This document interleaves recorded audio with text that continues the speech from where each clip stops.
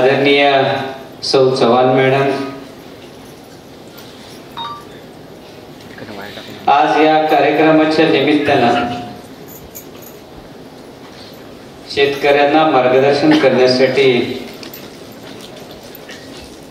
उपस्थित असलेले मार्गदर्शक माननीय doctor P G Ahire Balasaheb Sawant Krishi Vidyapeeth त्यांच्यासोबत आलेले माननीय डॉक्टर के बी सानप साहेब पंचायत समितीचे चिपळूणचे तालुका अभियानाचे प्रमुख अमोलजी काटकर व्यासपीठावर उपस्थित असलेले आमचे सहकारी मित्र आणि आज पाणी प्रश्नासाठी असेल. निसर्गाच्या काम निसर्गाच्या संबंधितला विषय असेल.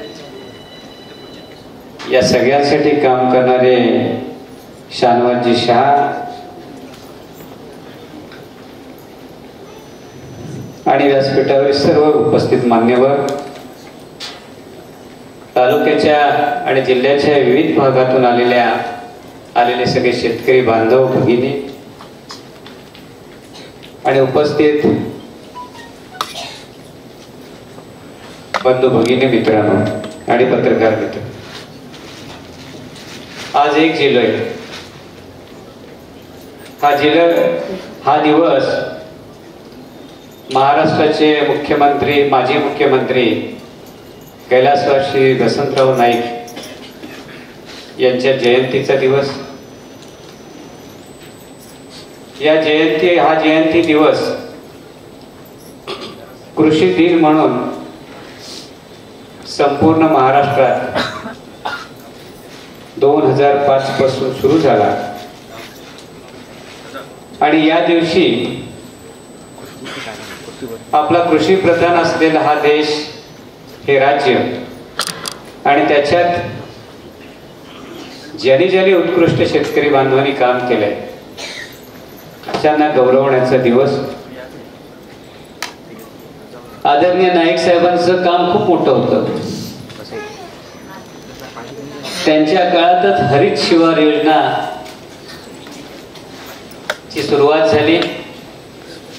आणि आज जो महाराष्ट्र साठ टक्क्यापेक्षा अधिक भागात जे काही उत्पन्न दिसते शेतीच्या माध्यमातून आणि जो हिरवागार झालेला दिसतोय ही सगळी पुण्याई कैलासवासी वसंतराव नाईक साहेबांची आहे.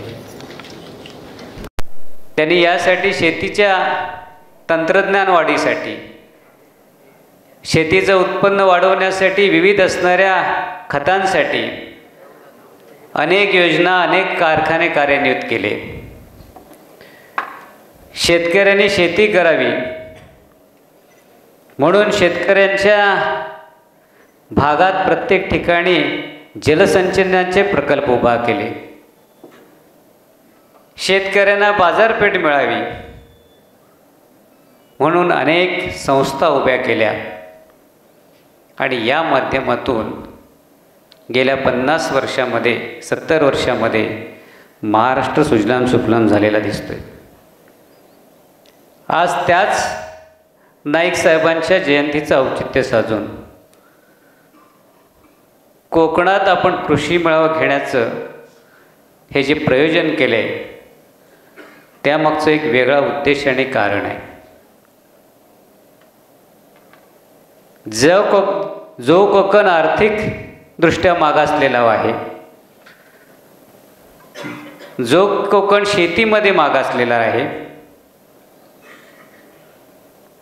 तो या कोकणाला पुढं आणण्याच्या दृष्टीने जे प्रयत्न गेल्या काही वर्षापासून चव्हाण साहेबांच्या माध्यमातून सुरू होते आणि त्याचाच एक भाग म्हणून दोन वर्षापूर्वी वाशिष्ठी डेअरीचा प्रकल्प उभा राहिला आणि आज ह्या प्रकल्पाच्या माध्यमातून अनेक शेतकऱ्यांना शेतीबरोबरचा असणारा दुग्ध व्यवसाय हा जोडताना मिळाला आणि या क्षेत्रात बदल होण्यास सुरुवात झाली.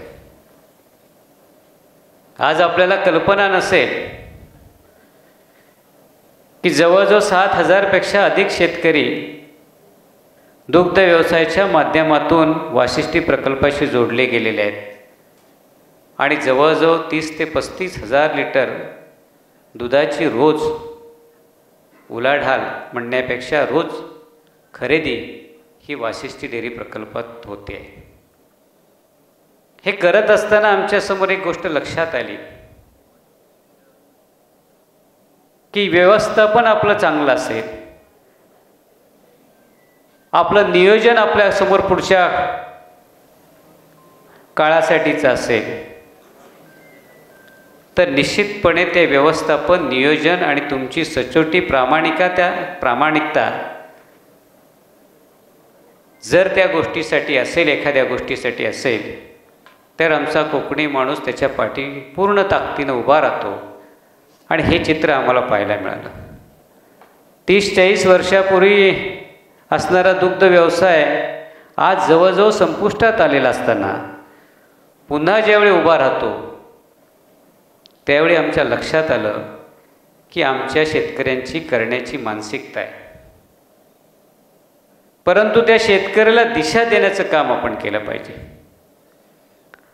आज भावेसाहेब या ठिकाणी या मेळाव्याच्या माध्यमातून आम्ही जरी इथल्या शेतकरी किंवा महिला बचत गट जे शेतीशी पूरक काम करत आहेत त्यांना बी बियाणाचं वाटप करत असलो तरी यामागचा वेगळा उद्देश आमचा असा आहे की या सगळ्यांना आम्हाला शेत्याची शेतीच्या प्रवाहात जोडधंदा म्हणून आणायचा आहे कारण शेती परवडत नाही म्हणून कोकणातली शेती कमी झाली. आर्थिक सुबत्ता आमच्याकडं नाही. म्हणून शेती आमची कमी झाली. आणि त्याचबरोबर आम्हाला योग्य मार्गदर्शन मिळालं नाही. आमच्याकडे व्यवस्था पण व्यवस्थित नाही. म्हणून आम्ही आमच्या क्षेत्रात प्रगती करू शकलो नाही.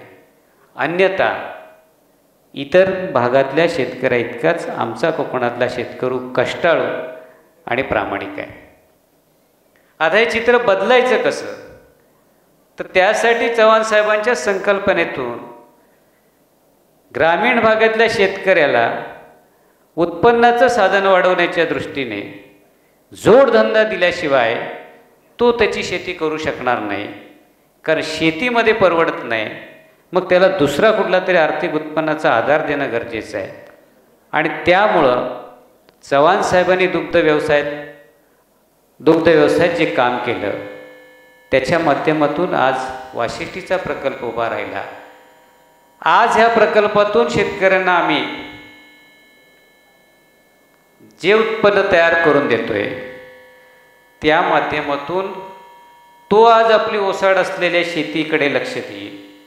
परंतु नुसत्या त्याच्याबरोबर जाऊन भागणार नाही तर आम्ही आज हे जे व्यवस्थापन करतोय त्या माध्यमातून शेतकरी हा पुन्हा शेतीकडे आणि भाजीपाल्याकडे वळला पाहिजे. हा दुसरा जोडधंदा पण त्याला मिळाला पाहिजे. ह्या आमचा प्रमुख उद्देश आहे. आज भाजीपाल्याचं वाटप करत असताना आम्हाला या माध्यमातून इथल्या महिलांना सक्षम करण्याचं काम करायचं आहे. की आज जसं दूध बाहेरून येतं तसंच आमच्या इथं येणारा शेतीमाल पण जो आहे तो पश्चिम महाराष्ट्रातनं येतो. आमच्या इथं सुद्धा भाजीची जुडी आम्ही तयार करू शकत नाही. किंवा तयार केली किंवा तयार केली तर त्याला पाहिजे तो भाव आम्हाला मिळत नाही. आणि हे चित्र यापुढच्या काळात बदलण्याची गरज आहे. अशी आमची ठाम भूमिका आहे. आज आम्ही साहेब नुसतं याच्यावरती या गोष्टीची सुरुवात करून थांबणार नाही. तर आम्हाला दुग्ध क्षेत्राच्या दृष्टीने आणखी एक प्रयोग करायचा आहे की यांच्या जोडीला आम्हाला लागणारा दुग्धोत्पादनाचा चारा उभा करण्याचं काम करायचं आहे आणि शंभर टक्के साहेब सांगतो की या दृष्टीने जर आम्ही या सगळ्यांना या मार्गातून काम करण्यात प्रवृत्त करू शकलो तर येत्या काही काळामध्ये आमच्या इकडे उन्हाळ्यात पडणारा कमी पडणारा चारासुद्धा आम्ही निर्माण करू शकू. आणि निश्चितपणे हा एक जोडधंदा आमच्या शेतकऱ्यांना मिळाल्याशिवाय राहणार नाही. काही गोष्टींवरती काम करायला लागेल. या ठिकाणी आमचे जलदूत बसलेत शानवाशा आज आम्हाला त्यांच्याबरोबर काम करावं लागेल. परिवर्तन संस्थेच्या श्यामलताई आमच्या इथं बसलेल्या आहेत. त्यांच्याबरोबर काम करायला लागेल. तर या अगोदरच्या काळात आम्ही फक्त काय करायचं याचं व्यवस्थापन केलं पण झालेले प्रत्येक गोष्ट कशा पद्धतीनं मार्केटपर्यंत पोचवायची याच्यासाठीची चेन तयार करणं गरजेची आहे. वाशिष्ठीने एका पद्धतीने चेन तयार केले त्याला जोड म्हणून या पुढच्या काळात शेतीपूरक व्यवसायासाठी आणि या भाजीपाला व्यवसायासाठी सुद्धाची चेन आम्ही साहेब तुम्हाला तयार करून दाखवू. कोकण कृषी विद्यापीठाने फक्त आम्हाला एवढं सहकार्य करावं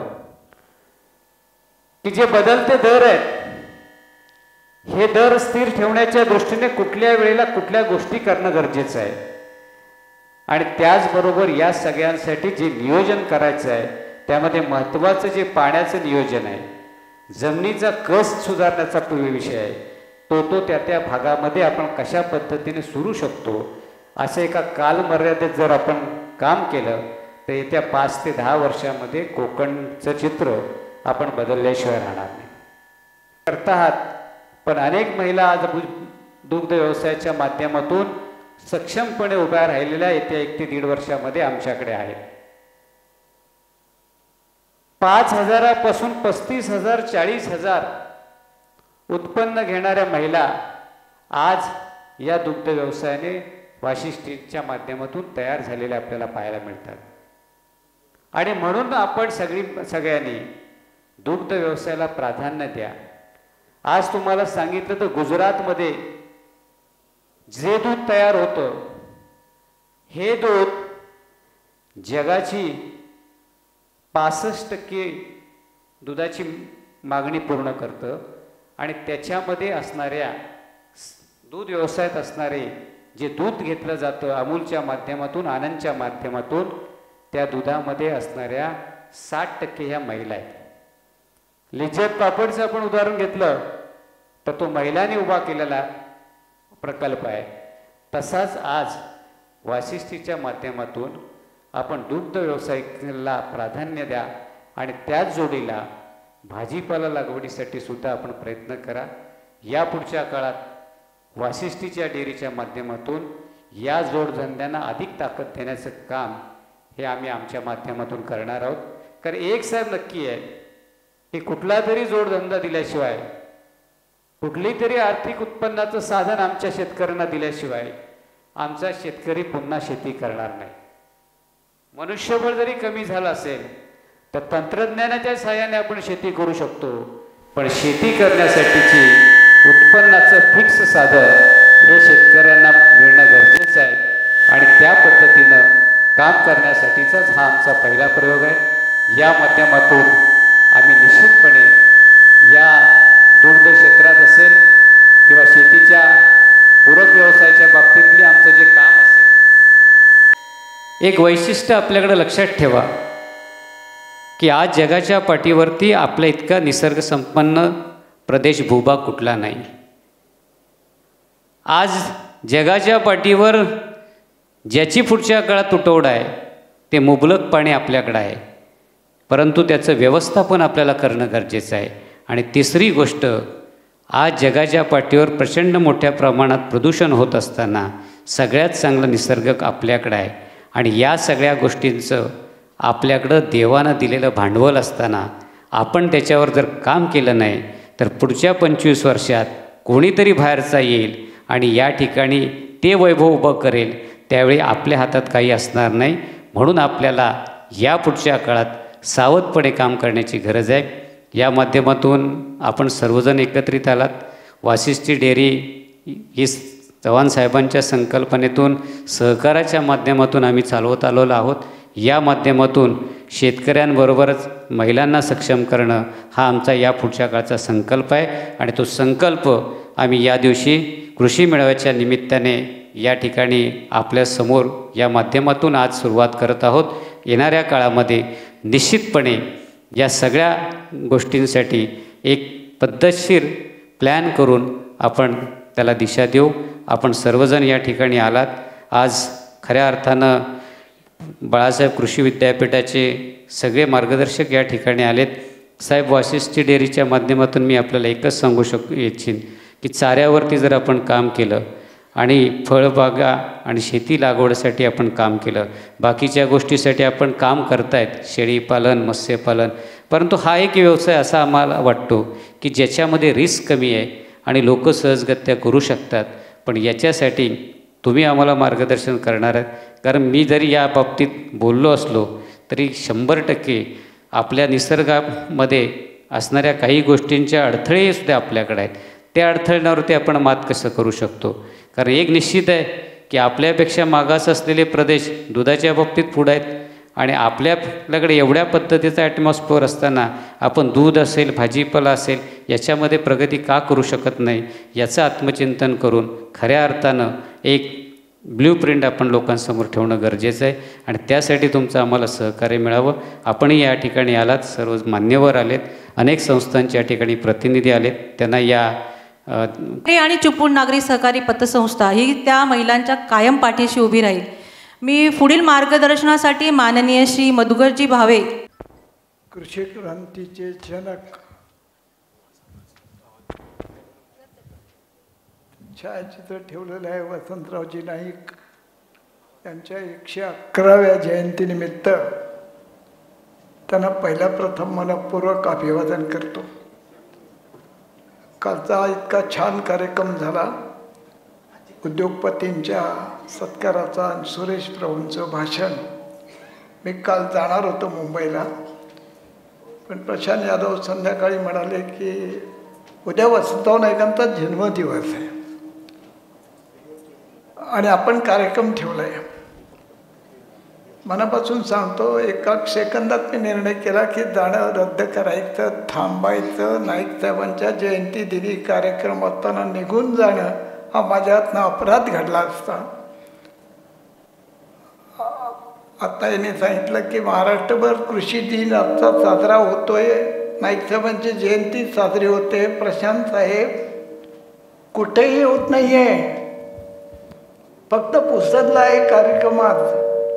पुसद मुंबईपासून सहाशे चौपन्न मैल आहे. तिथून नाईक गौली गवली एकोणपन्नास किलोमीटर आहे. तिथं कार्यक्रम आहे. मंत्रालयात हार घालण्याचा कार्यक्रम आहे. त्यानंतर महाराष्ट्रात इतका चांगला कार्यक्रम फक्त चिपळूणमध्ये आहे. काल तर कार्यक्रम पाहिल्यानंतर मी थक्क झालो. चार जानेवारी पाच जानेवारीचं पशुप्रदर्शन. त्यात कृषी विद्यापीठातल्या अधिकाऱ्यांची भाषणं राजकीय नेत्यांची भाषणं सोडून द्या. त्या प्रत्येक कृषी अधिकाऱ्यांनी दिलेली मौलिक माहिती थक्क करणारं प्रदर्शन होतं ते. ग्रामीण भागात काय करायला पाहिजे याचं भान असलेली महाराष्ट्रामध्ये हाताच्या बोटावर जेवढी मोजणारी माणसं असतील त्यात आता सुभाषराव चव्हाण तुम्ही प्रशांतराव यादव तुम्ही तुमच्या संस्था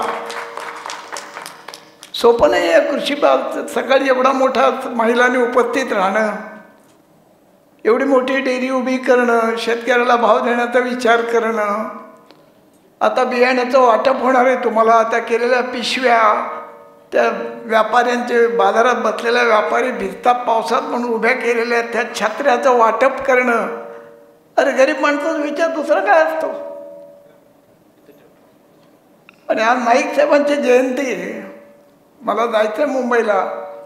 पण नाईक साहेब आज तुम्हाला खरं वाटणार नाही बहात्तरच्या दुष्काळाच्या झाडा ज्यांना बसलेल्या आहेत त्यातले अनेक जण इथे असतील. रेशनच्या रांगेमध्ये दोन दोन तीन तीन तास उन्हात उभे राहून अर्धा किलो तांदूळ अर्धा किलो गहू अर्धा किलो साखर. आणि साखर नसली तर उद्या पुन्हा रांगेत येऊन उभे राहा. तो काळ नाईक साहेबांचा होता. आणि नाईक साहेबांनी सांगितलं जर अन्नधान्याच्या बाबतीत महाराष्ट्राला स्वावलंबी करू शकलो नाही तर मला फासावर द्या. आणि गेल्या पंचवीस पन्नास वर्षामध्ये महाराष्ट्र अन्नधान्याच्या बाबतीत स्वावलंबी झाला. अमेरिकेतून मिलो नावाचा गहू येत होता. जुन्या लोकांनी आठवा त्यात अर्धा एक किलो गव्हामध्ये पाव किलो माती कचरा विधानसभेत ते कचरे दाखवले गेले. इंदिरा गांधी वॉशिंग्टनच्या त्या किनाऱ्यावर होत्या शिप तयार झालं होतं. निक्सन सांगत होते. This sweet is going to India Indira Gandhi त्यात एक खुपसून काढलं. त्यात अर्धी माती होती. शर्वेनी मान खाली गेली तर गहू टाकून दिला आणि म्हणाले की विल डिपेंड अपॉन महाराष्ट्र आणि त्यातनं थळवाशेचा कारखाना उभा राहिला. नाईक साहेबांनी शपथ खाल्ली. साहेब काय कष्ट केले? तुम्हाला कल्पना येणार नाही या माणसांनी. बहात्तरच्या दुष्काळामध्ये भूम परांड्याला आम्ही गेलो होतो. नाईक साहेब एका शेतकऱ्याच्या घरात त्याच्या घरात खुर्ची नव्हती. ज्वारीच्या अर्ध्या पोत्यावर खुर्चीसारखे नाईक साहेब बसले. त्याने पाणी आणलं तांब्या आणला फुलपात्र आणलं. तो ओतणार पाणी तेवढं घरातलं म्हणा थांब थांब थांब थांब. ते गडूळ पाणी आहे गडूळ पाणी आहे ते देऊ नको. कोका कोलान मी साहेबांच्या बरोबर होतो. नाईक साहेब म्हटलं तुमच्या गावात को कोका कोला आला. स्वच्छ पाणी नाही आलं. मी हेच पाणी पिणार. खिशातला रुमाल काढला भांड्यावर टाकला तांब्यातलं पाणी गाळलं नाईक साहेब ते पाणी प्यायले. आणि म्हणाले पुढच्या वर्षी याच तारखेला भूम ग्रामीण नळ पाणी पुरवठा योजना मी सुरू करीन. आणि पुढच्या वर्षी त्यांनी ती सुरू केली. त्या कार्यक्रमालाही मी गेलो होतो साहेब. असे नाही साहेब असे डोळ्यासमोर उभे राहत आहेत. त्या शेतकऱ्यांनी किती कष्ट करून या महाराष्ट्राला स्वावलंबी केलं आहे याची कल्पना येऊ शकणार नाही तुम्हाला. या टोकापासून त्या टोकापर्यंत क्रिकेटमधलं पीच आहे बावीस यार्ड. विराट कोहलीने शर्माने शतक मारलं आपण टाळी मारतो. महाराष्ट्रातल्या शेतकऱ्यांनी शेतकऱ्याची या टोकापासून त्या टोकापर्यंत हातात नांगर धरून किती सेंचुऱ्या मारल्या. किती सेंचुऱ्या झाल्या असतील ते शेतकऱ्याच्या या हातात नांगर धरून त्या पलीकडे पोहोचेपर्यंत आणि या महाराष्ट्राला स्वावलंबी करेपर्यंत आम्ही एक टाळी मारली नाही त्या शेतकऱ्याकरता.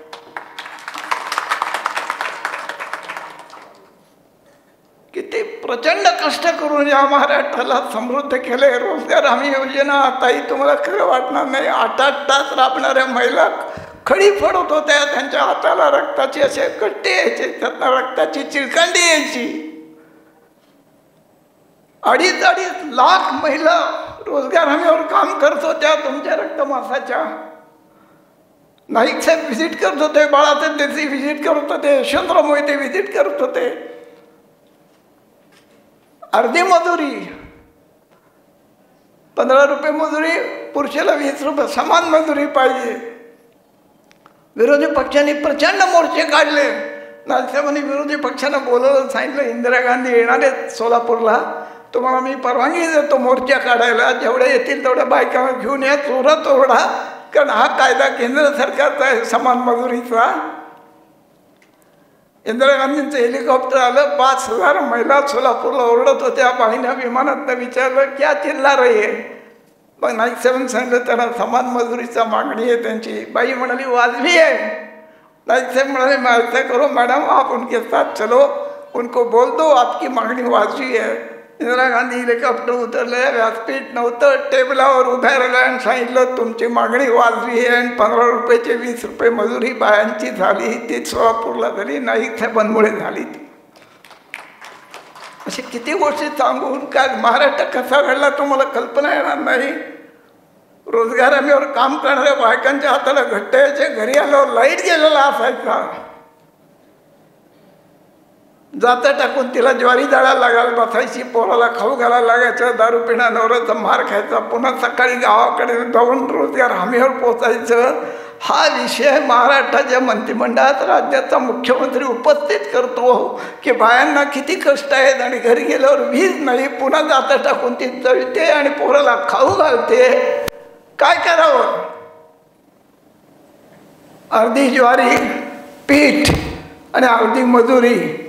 फक्त महाराष्ट्रामध्ये बहात्तरच्या दुष्काळात दोन दोन लाख पिशव्या रोज अर्ध्या एक किलो ज्वारीच्या पिठाच्या वाटल्या गेल्या आणि त्या महिलांनी उचलल्या आणि त्यांच्या डोळ्यातून आनंदाचे अश्रू आले. त्यांनी आपल्या पोरांना जगवले त्या. लेकरवाला माझ्या पोरं घेऊन जायचं आम्ही दुष्काळी दौरे बघायचो. खडी फोडताना ते पोरग्यासारखं आईच्या जवळ यायचं. ती कपची उडायची. अनेक मुलांच्या डोळ्यात कपच्या गेल्या. काय करावं? अशा छोट्या रावट्या मागल्या एका रावटीत चार मुलं. त्याला सांभाळायला दोन बाळा. आणि त्या बाळांना रोजगार हमीची पंधरा रुपयाची मजुरी द्यायची. हा निर्णय नाईक साहेबांनी घेतला तो माणूस. अजय दापोलीचे सानप साहेब आले आहेत काटडरे साहेब आले ती सगळी मोठी माणसं आले. त्यांची व्याख्यानं तुम्हाला ऐकायची आहेत मला जास्त बोलायचं नाही. पण हे दापोलीचं कृषी विद्यापीठ वसंतराव नाईक साहेबांनी उभं केलेलं विद्यापीठ आहे हे लक्षात ठेवा. रावरीचं कृषी विद्यापीठ वसंतराव नाईकांनी उभं केलं आहे परभणीचं कृषी विद्यापीठ वसंतराव नाईकांनी उभं केलं आहे आणि अकोल्याचं विद्यापीठ वसंतराव चार विद्यापीठं महाराष्ट्राला देणारा. वसंतराव नाईक आहेत. नवी मुंबई नाईक साहेबांनी उभी केलेली आहे. नवीन औरंगाबाद नाईक साहेबांनी उभं केलेलं आहे.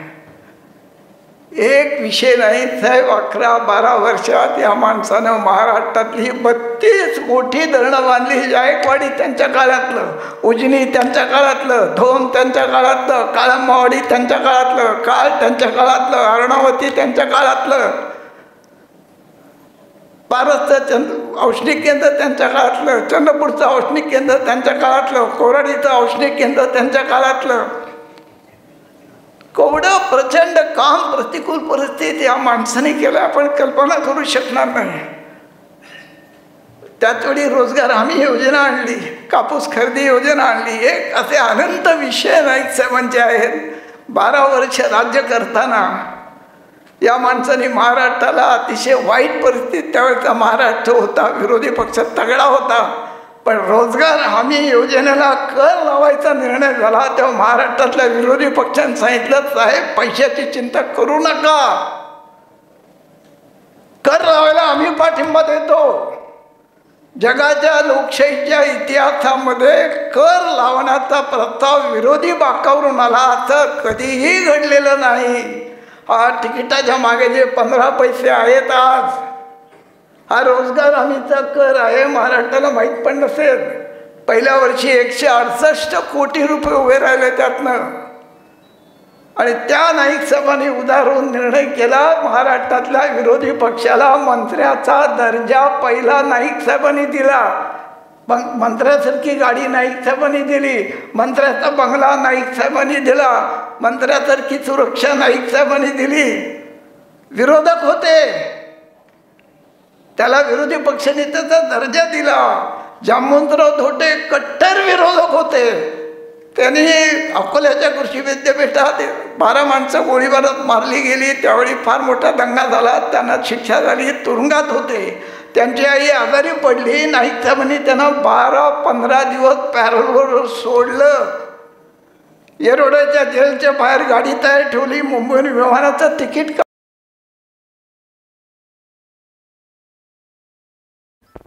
कृषी क्रांतीचे जनक. छायाचित्र ठेवलेलं आहे वसंतरावजी नाईक. यांच्या एकशे अकराव्या जयंतीनिमित्त. त्यांना पहिल्या प्रथम मनपूर्वक अभिवादन करतो. कालचा इतका छान कार्यक्रम झाला. उद्योगपतींच्या सत्काराचा आणि सुरेश प्रभूंचं भाषण. मी काल जाणार होतो मुंबईला. पण प्रशांत यादव संध्याकाळी म्हणाले की उद्या वसंतराव नायकांचा जन्मदिवस आहे. आणि आपण कार्यक्रम ठेवला आहे मनापासून सांगतो एका सेकंदात मी निर्णय केला की जाणं रद्द करायचं थांबायचं नाईक साहेबांच्या जयंती दिनी कार्यक्रम असताना निघून जाणं हा माझ्या हातनं अपराध घडला असता. आता याने सांगितलं की महाराष्ट्रभर कृषी दिन आजचा साजरा होतोय. नाईक साहेबांची जयंती साजरी होते. प्रशांत साहेब कुठेही होत नाही आहे फक्त पुसदला आहे कार्यक्रमात. पुसद मुंबईपासून सहाशे चौपन्न मैल आहे. तिथून नाईकसाहेबांची गवली एकोणपन्नास किलोमीटर आहे. तिथं कार्यक्रम आहे. मंत्रालयात हार घालण्याचा कार्यक्रम आहे. त्यानंतर महाराष्ट्रात इतका चांगला कार्यक्रम फक्त चिपळूणमध्ये आहे. काल तर ते कार्यक्रम पाहिल्यानंतर मी थक्क झालो. चार जानेवारी पाच जानेवारीचं पशुप्रदर्शन. त्यात कृषी विद्यापीठातल्या अधिकाऱ्यांची भाषणं. राजकीय नेत्यांची भाषणं सोडून द्या. त्या प्रत्येक कृषी अधिकाऱ्यांनी दिलेली मौलिक माहिती थक्क करणारं प्रदर्शन होतं ते. ग्रामीण भागात काय करायला पाहिजे याचं भान असलेली महाराष्ट्रामध्ये हाताच्या बोटावर जेवढी मोजणारी माणसं असतील त्यात आता सुभाषराव चव्हाण तुम्ही प्रशांतराव यादव तुम्ही तुमच्या संस्था सोपं नाही आहे कृषी बाब सकाळी एवढा मोठा महिलांनी उपस्थित राहणं एवढी मोठी डेअरी उभी करणं शेतकऱ्याला भाव देण्याचा विचार करणं. आता बियाण्याचं वाटप होणार आहे तुम्हाला. आता केलेल्या पिशव्या त्या व्यापाऱ्यांचे बाजारात बसलेल्या व्यापारी भिजता पावसात म्हणून उभ्या केलेल्या त्या छत्र्याचं वाटप करणं. अरे गरीब माणसाचा विचार दुसरा काय असतो? आणि आज नाईक साहेबांची जयंती आहे. मला जायचं आहे मुंबईला. पण नाईक साहेब आज तुम्हाला खरं वाटणार नाही बहात्तरच्या दुष्काळाच्या झाडा ज्यांना बसलेल्या आहेत त्यातले अनेक जण इथे असतील. रेशनच्या रांगेमध्ये दोन दोन तीन तीन तास उन्हात उभे राहून अर्धा किलो तांदूळ अर्धा किलो गहू अर्धा किलो साखर.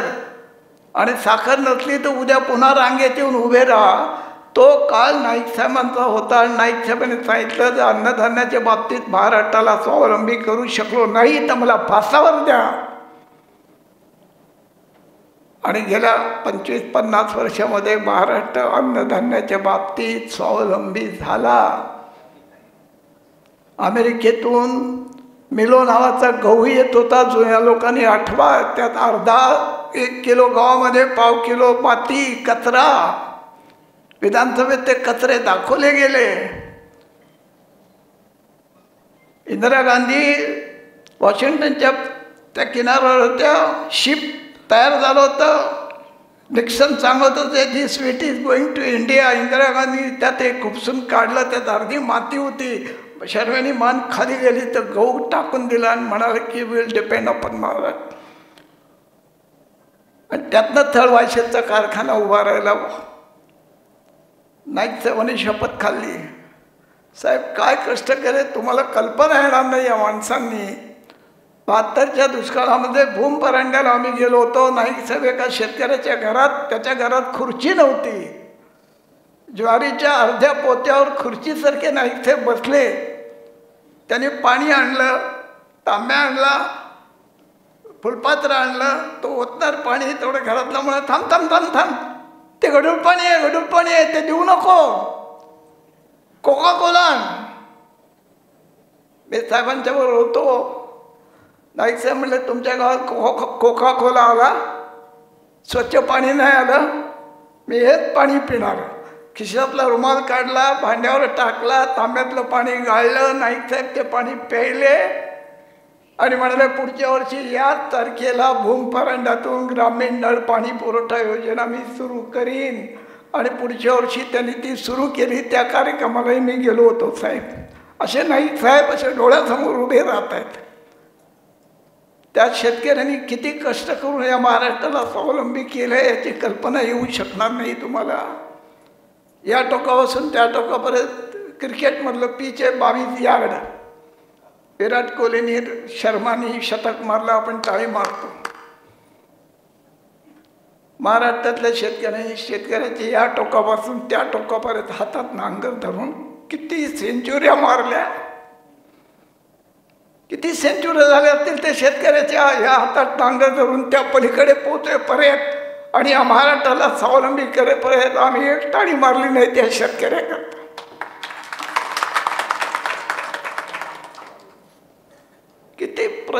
कष्ट करून या महाराष्ट्राला समृद्ध केले. रोजगार हमी योजना. आताही तुम्हाला खरं वाटणार नाही. आठ आठ तास राबणाऱ्या महिला खडी फडत होत्या. त्यांच्या हाताला रक्ताची असे कट्टे यायचे. त्यांना रक्ताची चिळकांडी यायची. अडीच अडीच लाख महिला रोजगार हमीवर काम करत होत्या. तुमच्या रक्तमासाच्या. नाईक साहेब व्हिजिट करत होते. बाळासाहेब देसी व्हिजिट करत होते. यशवंतराव मोहिते व्हिजिट करत होते. अर्धी मजुरी. पंधरा रुपये मजुरी पुरुषाला वीस रुपये समान मजुरी पाहिजे. विरोधी पक्षांनी प्रचंड मोर्चे काढले. नालसाहेबांनी विरोधी पक्षांना बोलवलं सांगितलं इंदिरा गांधी येणार आहेत सोलापूरला. तुम्हाला मी परवानगी देतो मोर्चा काढायला. जेवढ्या येतील तेवढ्या बायका घेऊन या चोरा तोरडा कारण हा कायदा केंद्र सरकारचा आहे समान मजुरीचा. इंदिरा गांधींचं हेलिकॉप्टर आलं पाच हजार महिला सोलापूरला ओरडत होत्या. बाईंना विमानातनं विचारलं क्या चिल्ला रही आहे मग नाईक साहेबांनी सांगितलं त्यांना समान मजुरीचा मागणी आहे त्यांची. बाई म्हणाली वाजवी आहे. नाईक साहेब म्हणाले मैं करो मॅडम आप उनके साथ चलो उनको बोल दो आपकी मागणी वाजवी आहे. इंदिरा गांधी हेलिकॉप्टर उतरले व्यासपीठ नव्हतं टेबलावर उभ्या राहिल्या आणि सांगितलं तुमची मागणी वाजवी आहे आणि पंधरा रुपयाचे वीस रुपये मजुरी बायांची झाली ती सोलापूरला झाली नाईक बनमुळे झाली. ती असे किती गोष्टी सांगून काय महाराष्ट्र कसा घडला तुम्हाला कल्पना येणार नाही. रोजगार हमीवर काम करणाऱ्या बायकांच्या हाताला घट्ट घरी आल्यावर लाइट गेलेला असायचा. जाता टाकून तिला ज्वारी जाळायला लागायला बसायची पोराला खाऊ घालायला लागायचं दारू पिणा नवऱ्याचा मार खायचा पुन्हा सकाळी गावाकडे जाऊन रोजगार हमीवर पोचायचं हा विषय महाराष्ट्राच्या मंत्रिमंडळात राज्याचा मुख्यमंत्री उपस्थित करतो की बायांना किती कष्ट आहेत आणि घरी गेल्यावर वीज नाही पुन्हा जाता टाकून ती जळते आणि पोराला खाऊ घालते. काय करावं? अर्धी ज्वारी पीठ आणि अर्धी मजुरी. फक्त महाराष्ट्रामध्ये बहात्तरच्या दुष्काळात दोन दोन लाख पिशव्या रोज अर्ध्या एक किलो ज्वारीच्या पिठाच्या वाटल्या गेल्या आणि त्या महिलांनी उचलल्या आणि त्यांच्या डोळ्यातून आनंदाचे अश्रू आले. त्यांनी आपल्या पोरांना जगवले त्या. लेकरवाला माझ्या पोरं घेऊन जायचं आम्ही दुष्काळी दौरे बघायचो. खडी फोडताना ते पोरग्यासारखं आईच्या जवळ यायचं. ती कपची उडायची. अनेक मुलांच्या डोळ्यात कपच्या गेल्या. काय करावं? अशा छोट्या रावट्या मागल्या एका रावटीत चार मुलं. त्याला सांभाळायला दोन बाळा. आणि त्या बाळांना रोजगार हमीची पंधरा रुपयाची मजुरी द्यायची. हा निर्णय नाईक साहेबांनी घेतला तुम्हाला अजय दापोलीचे सानप साहेब आले काटडरे साहेब आले ती सगळी मोठी माणसं आले. त्यांची व्याख्यानं तुम्हाला ऐकायची आहेत मला जास्त बोलायचं नाही. पण हे दापोलीचं कृषी विद्यापीठ वसंतराव नाईक साहेबांनी उभं केलेलं विद्यापीठ आहे हे लक्षात ठेवा. राहुरीचं कृषी विद्यापीठ वसंतराव नाईकांनी उभं केलं आहे परभणीचं कृषी विद्यापीठ वसंतराव नाईकांनी उभं केलं आहे आणि अकोल्याचं विद्यापीठ वसंतराव चार विद्यापीठं महाराष्ट्राला देणारा. वसंतराव नाईक आहेत. नवी मुंबई नाईक साहेबांनी उभी केलेली आहे. नवीन औरंगाबाद नाईक साहेबांनी उभं केलेलं आहे. एक विषय नाही साहेब अकरा बारा वर्षात या माणसानं महाराष्ट्रातली बत्तीस मोठी धरणं बांधली. जायकवाडी त्यांच्या काळातलं उजनी त्यांच्या काळातलं धोम त्यांच्या काळातलं काळंबावाडी त्यांच्या काळातलं काळ त्यांच्या काळातलं अर्णावती त्यांच्या काळातलं पारसचं चंद औष्णिक केंद्र त्यांच्या काळातलं चंद्रपूरचं औष्णिक केंद्र त्यांच्या काळातलं कोराडीचं औष्णिक केंद्र त्यांच्या काळातलं. केवढं प्रचंड काम प्रतिकूल परिस्थिती या माणसाने केलं आपण कल्पना करू शकणार नाही. त्याचवेळी रोजगार हमी योजना आणली कापूस खरेदी योजना आणली. एक असे अनंत विषय नाईक साहेबांचे म्हणजे आहेत. बारा वर्ष राज्य करताना या माणसाने महाराष्ट्राला अतिशय वाईट परिस्थिती त्यावेळेचा महाराष्ट्र होता विरोधी पक्ष तगडा होता. पण रोजगार हमी योजनेला कर लावायचा निर्णय झाला तेव्हा महाराष्ट्रातल्या विरोधी पक्षांनी सांगितलं साहेब पैशाची चिंता करू नका. कर लावायला आम्ही पाठिंबा देतो. जगाच्या लोकशाहीच्या इतिहासामध्ये कर लावण्याचा प्रस्ताव विरोधी बाकावरून आला असं कधीही घडलेलं नाही. हा तिकिटाच्या मागे जे पंधरा पैसे आहेत आज हा रोजगार हमीचा कर आहे महाराष्ट्राला माहीत पण नसेल. पहिल्या वर्षी एकशे अडसष्ट कोटी रुपये उभे राहिले त्यातनं. आणि त्या नाईक सभाने उदाहरण निर्णय केला महाराष्ट्रातल्या विरोधी पक्षाला मंत्र्याचा दर्जा पहिला नाईक साहेबांनी दिला. मग मंत्र्यासारखी गाडी नाईक साहेबांनी दिली. मंत्र्याचा बंगला नाईक साहेबांनी दिला. मंत्र्यासारखी सुरक्षा नाईक साहेबांनी दिली. विरोधक होते. त्याला विरोधी पक्षनेत्याचा दर्जा दिला. जामवंतराव धोटे कट्टर विरोधक होते. त्यांनी अकोल्याच्या कृषी विद्यापीठात बारा माणसं गोळीबारात मारली गेली. त्यावेळी फार मोठा दंगा झाला. त्यांना शिक्षा झाली. तुरुंगात होते. त्यांची आई आजारी पडली नाहीतर म्हणे त्यांना बारा पंधरा दिवस पॅरलवर सोडलं. येरोड्याच्या जेलच्या बाहेर गाडी तयार ठेवली मुंबईहून विमानाचं तिकीट का बाहेर आले? म्हणाले काय आहे? तुमची आई आजारी आहे. मुंबईला जा आणि भेटायला जा. तिकीट कोण काढून देतो? राज्याचा मुख्यमंत्री. गाडी कोण देतो? राज्याचा मुख्यमंत्री. जांबोत्र डोळ्यातनं पाणी आलं. मी हॉस्पिटलला गेले. दोन दिवसात नाईक साहेब भेटायला गेले. त्यावेळेचा विरोधी पक्ष त्यावेळेचे विरोधी नेते त्यावेळेचे मुख्यमंत्री काय नातं होतं बघा. हे अण्णासाहेब शिंदे केंद्रीय कृषी मंत्री त्यांनी केलेली कृषी क्रांती त्यांच्या विरुद्ध उभे कोण होते? दादासाहेब रूप होते बासष्टच्या लोकसभेच्या निवडणुकीत. अण्णासाहेब शिंदे दादासाहेब रुपवतेनं म्हणाले दादासाहेब श्रीरामपुरात तुमची जेव्हा सभा असेल तेव्हा दुपारचं जेवण माझ्या घरी. कोण सांगत होतं? अण्णासाहेब शिंदे दादासाहेबाच्या विरुद्ध उभे असलेले. आणि दादासाहेब रुपंची सभा झाल्यावर कार्यकर्ते म्हणाले आमच्या घरी चला. ते म्हणे नाही मला अण्णासाहेबांनी जेवायला बोलवलं आहे आणि विरोधी पक्षात उभा असलेला उमेदवार अण्णासाहेब शिंदेच्या घरी जेवायला आला. जेवण झाल्यावर अण्णासाहेबांनी उच्च दिला दाराशी सोडायला आले. दादासाहेब रुपवते म्हणाले की अण्णासाहेब आता तुम्हाला हरवण्याकरता पुढच्या सभेला जातो. ते म्हणाले शुभेच्छा तुम्हाला. दादासाहेब रुपवते हरले. अण्णासाहेब जिंकले. हार घालायला गर्दी लागली. त्यात पहिले हार घालायला उभे होते. दादाचे रूप होते. हा महाराष्ट्र आहे. हे असे लोक आहेत आणि त्यांनी उभ्या केलेल्या कृषी विद्यापीठातले अधिकारी आज आलेत आणि प्रशांत यादव तुमच्या तोंडावर म्हणून सांगत नाही. सुभाषराव तुमच्या तोंडावर म्हणून स्तुती करत नाही. या सगळ्या वारसा जो आहे महाराष्ट्राचा हा वारसा चालवणारी माणसं महाराष्ट्रात आज जवळपास राहिलेले नाहीत. आपण आपल्या रूपाने हा वारसा चालवलाय असं मला स्वतःला वाटतं. आणि तुमची सगळी टीम माझ्या काय भावना ते सांगू शकत नाही साहेब. उद्या तर महाराष्ट्र फार भीषण आहे. प्रशांत तुम्ही आपले राजकारण सोडून द्या. तुम्ही हाती घेतलेलं जे काम आहे ना ते पुढच्या पिढ्यांसाठी फार मोठं काम आहे. तुम्हाला आता दिल्या जाणाऱ्या ज्या पिशव्या आहेत जे बियाणं आहे त्याची कल्पना पण मी करू शकलो नसतो आता बघा तुम्हाला त्या पिशव्या मिळतील बियाण्याच्या काय पद्धतीच्या आहेत? मला त्यांनी काल छत्री दावत भाजी विकायला गरीब बाया बसतात. त्या गरीब बाया पावसात बसतात या माणसाने त्यांना अशी प्रचंड मोठी छत्री दिली ती अशी खोचून उभं राहायचं आणि त्या बाया खाली बसतात. अहो सुसेल तरी का कोणा सोच! आणि म्हणून तुमचं काम फार मोठं आहे. राजकारणाच्या पलीकडचं आहे. राजकारणात तुम्ही आज आहात उद्या तुम्हाला यश मिळेल न मिळेल ते सोडून द्या. शंभर टक्के तुम्हाला यश मिळणार आहे. प्रचंड आजचा आहे प्रचंड जाधव उद्या फार मोठा होणार आहे तुम्हाला. पण ते यश हा फार गहून भाग आहे मी तुम्हाला समजतो राजकारणातले यश फार गौण आहे. तुमचा आजचा मेळावा त्याचा शतपट मोठा आहे लक्षात ठेवा. त्या दिवशीचं कृषी कृषी प्रदर्शन तसपट मोठं आहे हे लक्षात ठेवा तुम्ही.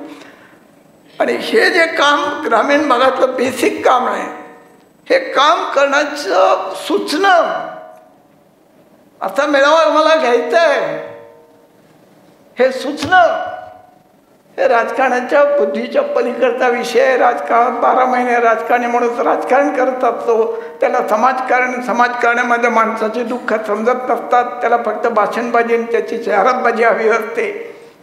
पण त्याच्या पलीकडचं काम सुभाषराव तुम्ही केलं आहे तुम्ही यांना कर्ज दिलं नसतं. दूध जमा झाला असतं का? तुम्ही किती मोठे आहात आणि त्याचा योग्य वापर करणार आहात. म्हणजे जगामध्ये फार थोडे असे सासरीन जावई तो असा सासऱ्यांना असं जावई मिळायचं नाही तुम्हाला आणि म्हणून मी थांबलो.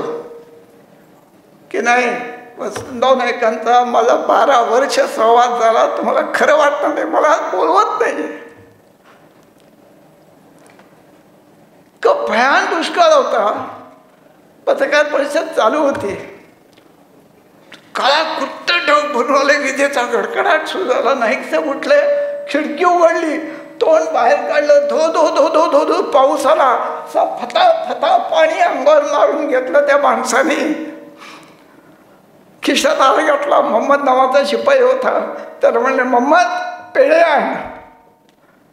एकोणीसशे बहात्तरचे शंभर रुपये. आमचा महाराष्ट्रातला पगार साठ रुपये होता. आणि पेढे आणले. नाईक म्हणे प्रत्येक पत्तेखाराला पेढा भरवला. काय झालं? पाऊस आला पाऊस आला. साहेब पावसामुळे आनंदाच्या डोळ्यात येणारा महाराष्ट्राचा पहिला मुख्यमंत्री. अशा या माणसांना महाराष्ट्र विसरला. दादा असतील ते असतील पंजाबराव देशमुख असतील गणपतराव देशमुख असतील. काय माणसं होती? सोन्यासारखी माणसं होती काय महाराष्ट्रात? तर कर्मवीर भाऊराव पाटील असतील. पैसे नाहीत घरात हो. मावशी चार आणि द्या. का? शाळा बांधतोय. भाऊ नाही पैसे. ज्वारी आहे. आहे. टाका एक किलो एक पाहिलं झोळी टाका झोळीत ज्वारी टाका.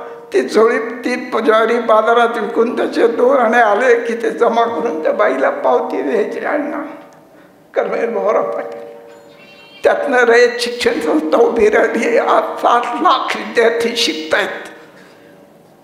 त्यांनी महाराष्ट्र घडवला आहे आणि म्हणून तुम्ही आज वसंतराव नायकांची जन्मशताब्दी यांना विचारलं काल मी फोटो आहे का साहेबांचा? तर नाही हो फोटो नाही आहे.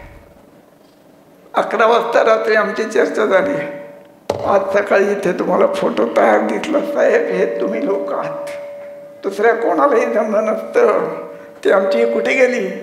स्वप्ना. ते म्हणाले भावेसाहेब फोटो उद्या राहील. म्हटलं कुठं आणशील? मी बघते काय करायचं ते.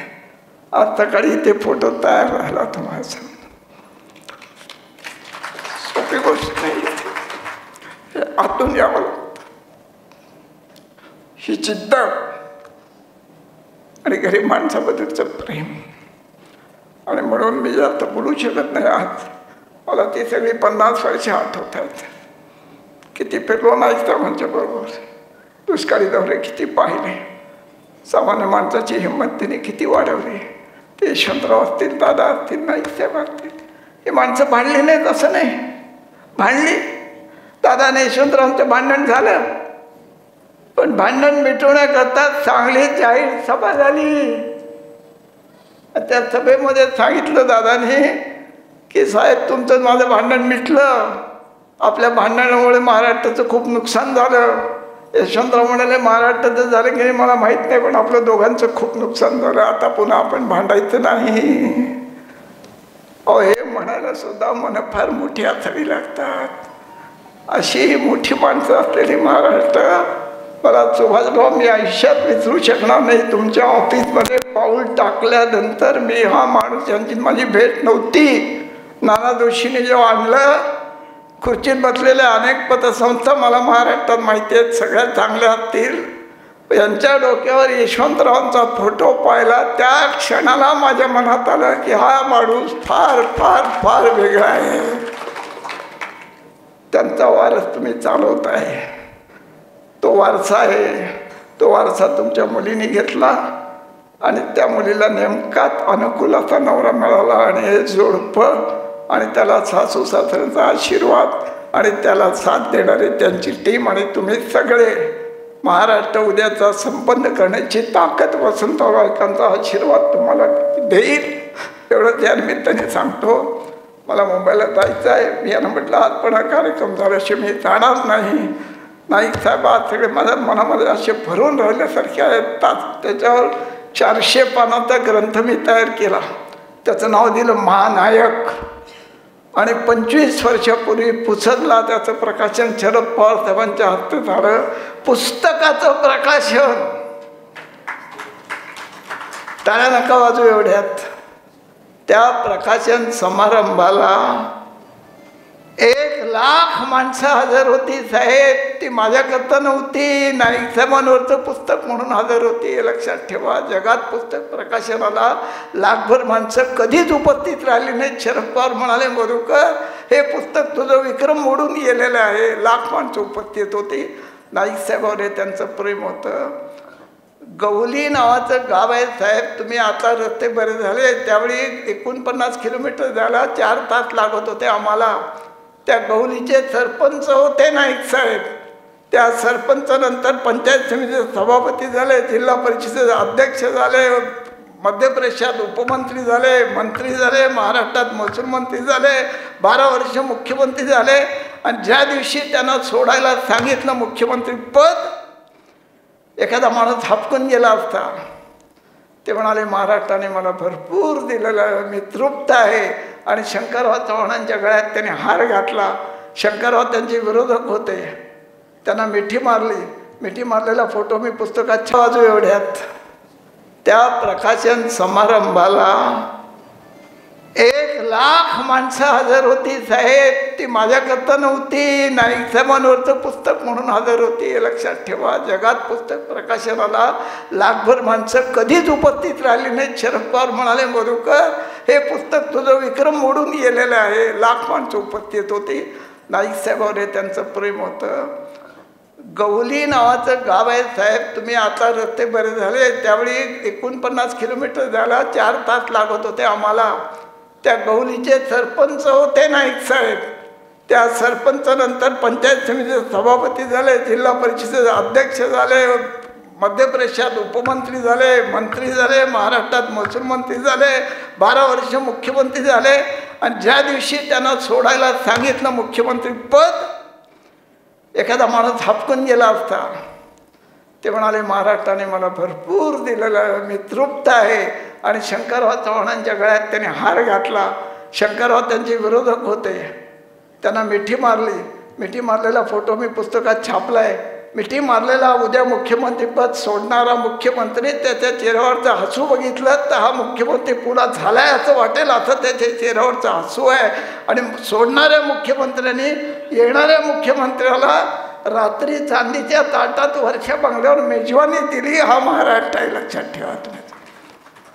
उद्या मी मुख्यमंत्रीपद सोडतोय.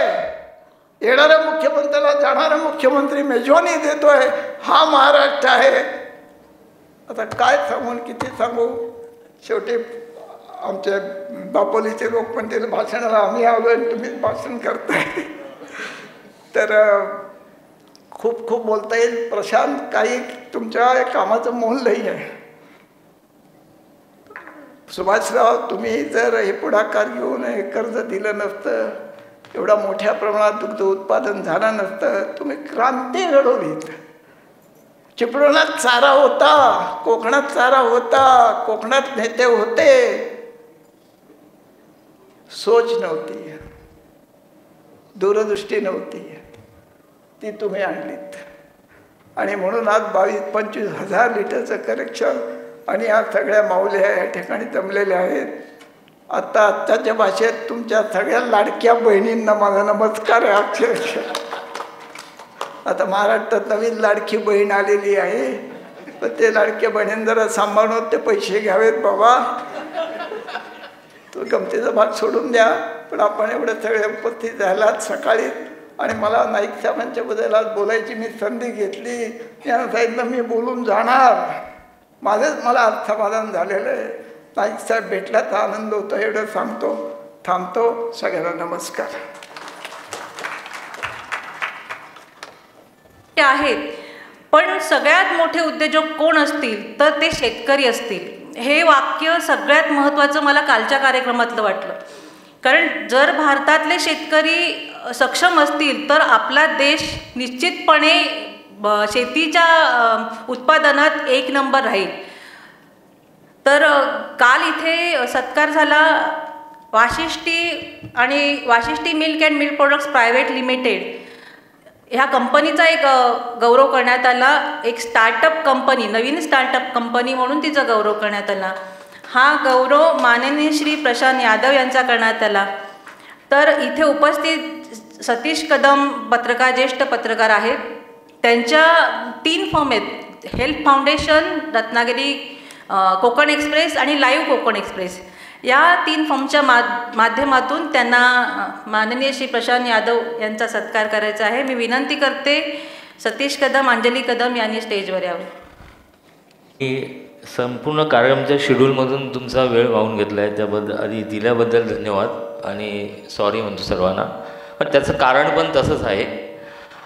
काल जो सत्कार झाला रत्नागिरी चेंबर्स ऑफ कॉमर्सतर्फे इंडस्ट्रीज असोसिएशनतर्फे त्या सत्कारामध्ये जो आत्ताच मॅडमने सांगितला स्टार्टअप जो पुरस्कार दिला गेला वाशिष्ठी डेअरी अँड मिल्क प्रॉडक्ट्सला तर त्यामध्ये आत्ताच मॅडम म्हणलं तसंच प्रभू साहेबांनी एक दोन वाक्य फार महत्त्वाची त्यामध्ये सांगितली की शेतकरी हा सर्व आपल्या देशातला तारून येणारा केंद्रबिंदू आहे. सांग शब्दश मला सांगता येणार नाही पण त्यांचा सांगण्याचा जो मतितार्थ तो असा आहे. आणि पुढील पंचवीस वर्षाचं जर आपल्याला हा महाराष्ट्र म्हणा देश म्हणून नियोजन करायचं असेल तर शेतकरी हा पुढे आला पाहिजे उद्योजक म्हणून. आणि शेतीवर आधारित उद्योग हे जगले पाहिजेत वाढले पाहिजेत तर ह्या सगळ्या बाकीच्या इंडस्ट्री त्या ह्यांनी जगू शकतील. किंवा अस्तित्वात राहू शकतील. या वाक्यानेच संपूर्ण कालचा जो कार्यक्रम आहे तो त्या कार्यक्रमाचं महत्त्व वाढून गेलं. आज कृषी दिन आहे. म्हणजे कालचा विषय आणि आजचा विषय हा याचा एक संयोग म्हणू किंवा एक दूध शर्करा योग म्हणूया. आज कृषी दिन आहे. नाईक साहेबांच्या जयंतीनिमित्त हा कृषी दिन महाराष्ट्रात साजरा होतो संपन्न होतो. भावे साहेबांनी पन्नास वर्षाचा इतिहास सगळा आपल्यासमोर ठेवला. आपण सगळे भारावून गेलो.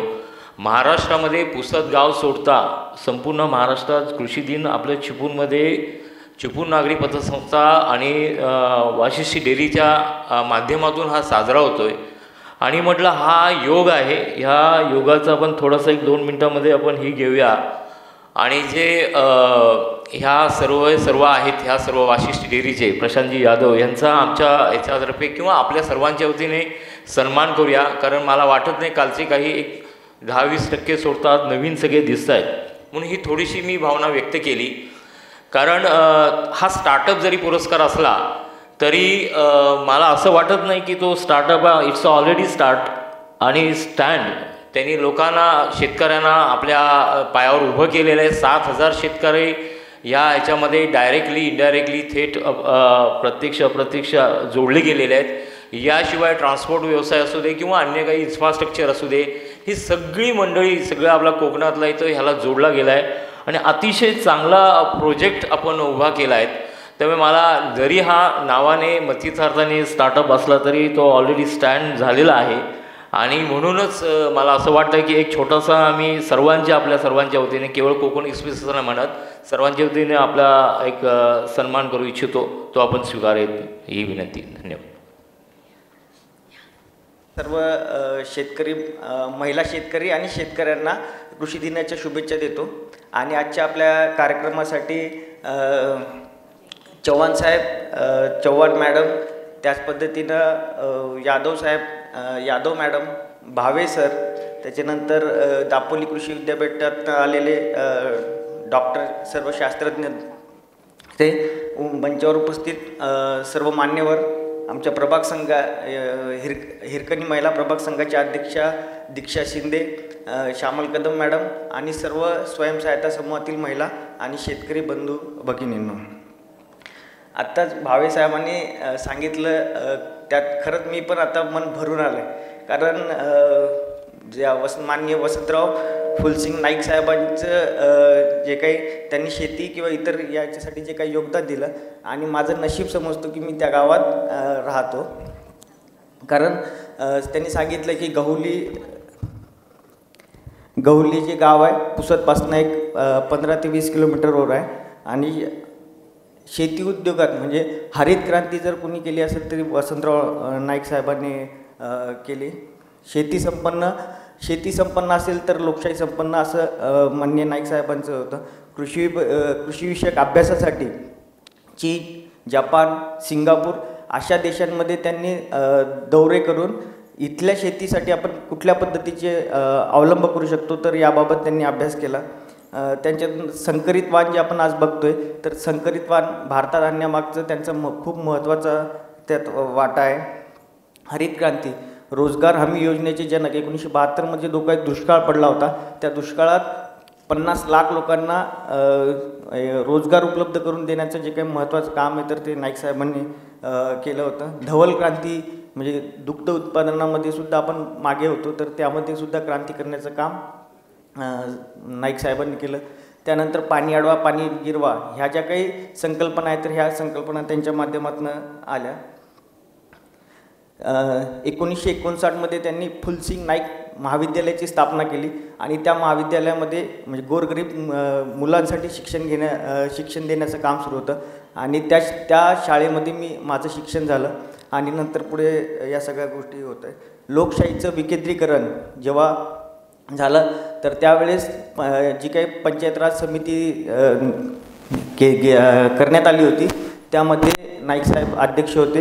आणि त्यांनी त्रिस्तरीय पंचायत राज व्यवस्थेची जी काही आपल्या महाराष्ट्र राज्याला त्रिस्तरीय पंचायत राज व्यवस्था दिली जिल्हा परिषद पंचायत समिती आणि ग्रामपंचायत ह्या चार क एक मे एकोणीसशे बासष्टमध्ये त्रिस्तरीय पंचायत राज व्यवस्था झाली.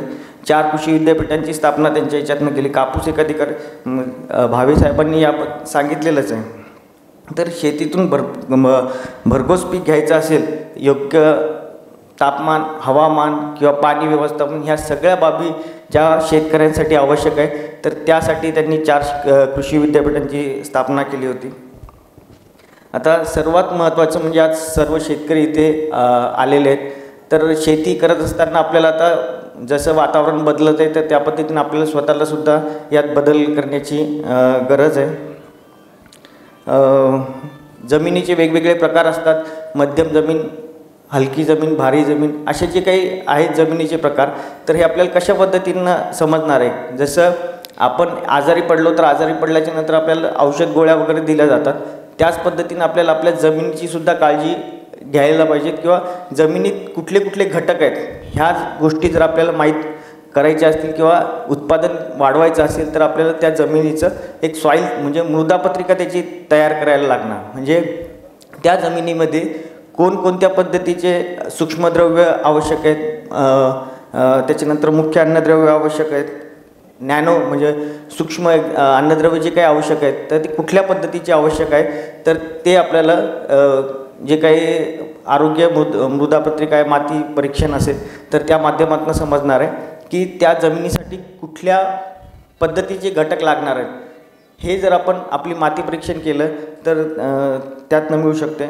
कृषी विभागामार्फत दरवर्षी एप्रिल ते मे महिन्यात याबाबतचं शेतकऱ्यांना जनजागृती करून त्यांच्याकडनं ह्या सगळ्या गोष्टी केल्या जातात. आपणसुद्धा आपल्या जमिनीची माती तपासणी किंवा माती परीक्षण करून घेतलं पाहिजेत की जेणेकरून त्यामध्ये काय काय करू शकतो आपण बघता येईल. पीक लागवड पद्धत जी आहे तर प्रत्येक पिकाचे योग्य उत्पादन घेण्यासाठी त्या पिकाच्या पीक लागवड पद्धती असतात. जसं की पिकेची पूर्वतयारी लावणी अशा पद्धतीने ज्या काही प्र आपण प्रॅक्टिसेस करतो किंवा त्याची पद्धत अवलंबण्यात येते त्याची चांगली पद्धत कुठली आहे की ज्यातनं आपल्याला मोठ्या प्रमाणात उत्पादन घेता येऊ शकेल? यासाठी आता आपल्या ज्या काही आता आपण जे बियाणं जास्त करून श- विकतच आणतो. परंतु आपल्याकडे जे जुनं बियाणं आहे ते बियाणं लावण्यापूर्वी आपण जर त्याची बीज प्रक्रिया केली त्याच्यानंतर त्याची उगवण क्षमता तपासणी केली तर यामुळं आपलं जे काही उत्पन्न आहे तर ते वाढण्यासाठी किंवा आपण जे बियाणं वापरतो आहे तर ते बियाणं कुठल्या पद्धती कशा पद्धतीचं आहे किंवा शेवटी बऱ्याचशा ठिकाणी दुबार पेरणी होते का?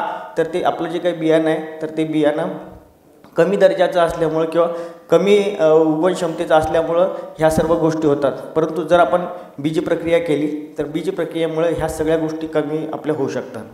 यासाठी कृषी विभागामार्फत शेतीशाळा म्हणजे फार्मर फील्ड स्कूल शेतकरी कृषी शाळा ह्या घेण्यात येतात. म्हणजे जवळपास पिकाची पूर्वतयारी ते कापणी एव या कालावधीत जवळपास सात ते सहा ते सात शे शेतकरी शाळा घेण्यात येतात. आणि महिलांचा स्वयंसहायता समूहातील महिलांचा सहभाग बघून महाराष्ट्र शासनाने त्यात पन्नास टक्के ज्या शेतीशाळा आहेत तर त्या शेतीशाळा महिलांच्या असायला पाहिजेत या पद्धतीचं सुद्धा एक आपलं सांगितलेलं आहे. ज्या आधुनिक प तंत्रज्ञानाच्या पद्धती आहेत जसे की एस आर आय असेल एस आर टी असतील या यामध्ये जर आपण आपल्या आता भात ला भात लाव लागवड करतो S R I S R टीमध्ये केलं तर उत्पादन वाढण्याचं त्यात खूप मोठ्या पद्धतीनं आपल्याला फायदा होऊ शकतो. एकात्मिक कीड रोग आपण जे काही ह्या सगळ्या बाबी बघितल्यावर जे रोग येतात तर एकात्मिक कीड रोग व्यवस्थापन आपल्या कशा पद्धतीने करू शकतो? विविध किडींचा प्रादुर्भाव यामुळं साधारणतः पंधरा ते वीस टक्के जे उत्पादन आहे आपलं तर ते उत्पादन खराब होतं किंवा तेवढं उत्पा उत्पादन आपल्याला कमी मिळते तर किडीचं व्यवस्थापन कशा पद्धतीनं केलं पाहिजे? त्याच पद्धतीनं कीड रोग ओळखता आले पाहिजेत. म्हणजे की जसे की कीड काही शत्रू किडी पण आहेत त्या पद्धतीने काही मित्र किडी पण आहेत. तर त्या त्यांचा आपल्या उत्पादन उत्पादनावर चांगल्या पद्धतीनं फ फरक पडत असतो. पीक फेरफार आपण फक्त एकच पीक घेतो आहे म्हणजे भात झालं आहे कारण मी गेली दहा ते अकरा वर्ष झाले कोकणातच काम करतो आहे त्यामुळं आपलं भात झाल्याच्यानंतर आपली बरीचशी जमीन जी काय आहे तर ती जमीन आपली पडीक असते. मग त्यावर आपण दुसऱ्या पद्धतीचं कुठल्या पद्धतीनं आपण म, पिकं घेऊ शकतो? एकत आता यात सर्वात आता स्वयंसहायता समूहांसोबत काम करत असताना ज्या काही कारण जर आपलं उत्पन्न वाढवायचं असेल तर आपल्याला उत्पादनाचा खर्च कमी करायला लागणार.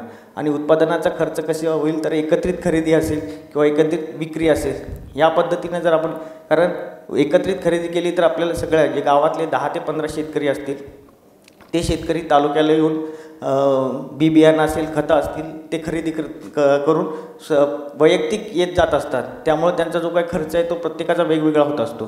जर एकत्रित खरेदी केली तर सर्व जे काही बी बियाणं असेल खतं असतील तर ते एकासोबत येतील आणि त्याचा जो काही खर्च आहे तर तो कमी होऊ शकेल. त्या त्याच पद्धतीने स्थानिक जातींचा वापर अशा आपण कशा पद्धतीने मोठ्या प्रमाणात करू शकू? उत्पादन वाढवणे त्यासंबंधी क शि हे वि विविध प्रशिक्षणं होतात. आपण प्रशिक्षणामध्ये खूप कमी प्रमाणात सहभागी होतो. जोपर्यंत आपण ज्ञान अवगत करणार नाही तोपर्यंत आपण उत्पादनाच्या ज्या काही उत्पादन असेल उत्पादकता असेल तर ती वाढवू शकणार नाही. बाजारभाव वाढवणे. आता बाजारभाव आपण स्वतः तर काय वाढवू शकत नाही. मग बाजारभाव वाढवण्यासाठी काय करायला पाहिजे? की आत्ता आपला जो काही उत्पन्न उत्पादन येते आपण तस त्याच पद्धतीनं घेतो आणि विक्री करतो. किंवा असं आहे की भात आहे भात आपण फक्त आपल्या स्वतः पुरताच पिकवतो. म्हणजे सरप्लस आपण जे घ्यायला पाहिजे की जेणेकरून त्यातनं आपल्याला उत्पन्न मिळेल. तर जर उत्पन्न वाढवायचं असेल तर आपली उत्पादकता आणि सरप्लस कसं करता येईल? सरप्लस म्हणजे आपलं जे काही वापर आहे आपल्या स्वतःचा वापर आहे तो वापर करून इतर जास्त कसं पिकवता येईल? तर या बाबतीत आपल्याला लक्ष देणं गरजेचं आहे. आता सॉर्टिंग ग्रेडिंग म्हणजे आता आपले काजू असतील तर काजू आपण एक एकाच सारखे विकत असतो. परंतु जर त्यात आपण ग्रेड केले आणि ग्रेड करून जर विकले तर निश्चितपणानं त्यासाठी बाजारपेठ उपलब्ध होऊ शकेल. आणि एकत्रित खरेदी विक्री या यासाठी की आपल्या कोकणातली जी जमीन धारक आहे धारकता आहे तर ती खूप कमी आहे. आणि जर आपल्याला मोठ्या प्रमाणात विक्री कारण आता मी तालुका अभियान व्यवस्थापक या पदावर कार्यरत आहे. आमच्या जवळपास अठ्ठावीसशे समूहातील तीस एक हजार महिला आहेत. त्यापैकी एक वीस ते पंचवीस टक्के महिला कुठला ना कुठला उद्योग करतात. शेती शेती असेल बिगर शेती असेल किंवा शेती आधारित असेल अशा वेगवेगळ्या स्वरूपांचा व्यवसाय आपल्या करत असतात परंतु त्यांना एकच अडचण येते की मार्केटिंगची. परंतु मार्केटिंगची अडचण आपली केव्हा दूर होणार आहे? तर ज्यावेळेस आपण मोठ्या प्रमाणात त्याचं उत्पादन घेऊ कारण आज आपली अशी परिस्थिती आहे की जेव्हा आपल्याला मोठमोठ्या ऑर्डर येतात तर ते आपण पूर्ण करू शकत नाही. तर एकत्रित सर्वांचे एकत्रित प्रयत्न असले एकत्रित एकत्र केले सर्व उत्पादनं तर निश्चितपणानं त्यासाठी बाजारपेठ उपलब्ध होऊ शकते. कारण छोट्या छोट्या क्वांटिटीला व्हॅल्यू नाही आहे मोठी क्वांटिटी असेल तर त्यासाठी निश्चितपणानं बायर उपलब्ध होऊ शकतात. आता मी स्वतः आपले जे काही आपल्याकडं काजू तेवढा नाही आहे परंतु जिल्ह्याचा एक डिस्ट्रिक्ट मॅनेजर मार्केटिंग जिल्हा व्यवस्थापक विपणनचा सुद्धा माझ्याकडे चार्ज आहे. तर आपल्या ज्या काही महिला आहेत त्यांची क्वांटिटी एकत्र करून काही बायर्स म्हणजे इंटरनॅशनल एक्सपोर्टसाठी बायरसुद्धा आम्ही बघितले होते. परंतु त्यांना जेवढा काजू लागत होता तेवढा यावर्षी मिळाला नाही. म्हणजे तेवढं झालं नाही. चार टनची ऑर्डर त्यांची. तर यावर्षी आम्ही निश्चितपणानं त्या पद्धतीनं कसं करता येईल तर याचं सुरुवातीपासून नियोजन करतो आहे त्याच्यानंतर की आत्ता आपल्याकडं जी काही शेती आहे ती सेंद्रिय पद्धतीनंच केली जाते. म्हणजे भातासाठी युरिया सोडला तर आपण जास्त काही वापरत नाही.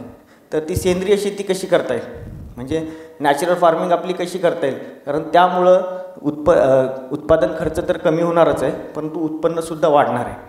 आता काही म्हणजे आपण असं असेल की गांडूळ खत किंवा इतर खतं वापरतो म्हणजे सेंद्रिय शेती ती होणार नाही.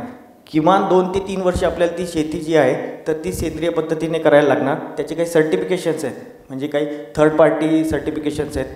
काही आपले पी जी एसचे आहेत की जे आपल्या आर सी रिजनल काउन्सिल जे आहेत तर त्या हे करतात. आपण रत्नागिरी संगमेश्वर लांजा या तीन तालुक्यांमध्ये जवळपास पन्नास लोकल ग्रुप म्हणजे जे सेंद्रिय शेतीमध्ये काम करत आहेत पूर्ण. आणि आत्ता त्यांचे दोन सर्टिफिकेशन झाले तिसरं सर्टिफिकेशन त्यांचं होणार आहे. म्हणजे तिसऱ्या वर्षी ते आता सेंद्रिय पद्धतीनं त्यांचं उत्पन्न उत्पादन निर्माण होणार आहे. आता यादव साहेबांनी बोलताना सांगितलं त्यांच्या ह्याच्यात की आपल्याला म्हणजे जे काही उपजीविकेची साधनं आहेत तर ती वाढवायला पाहिजेत. म्हणजे दोन साधनं तरी पाहिजेत.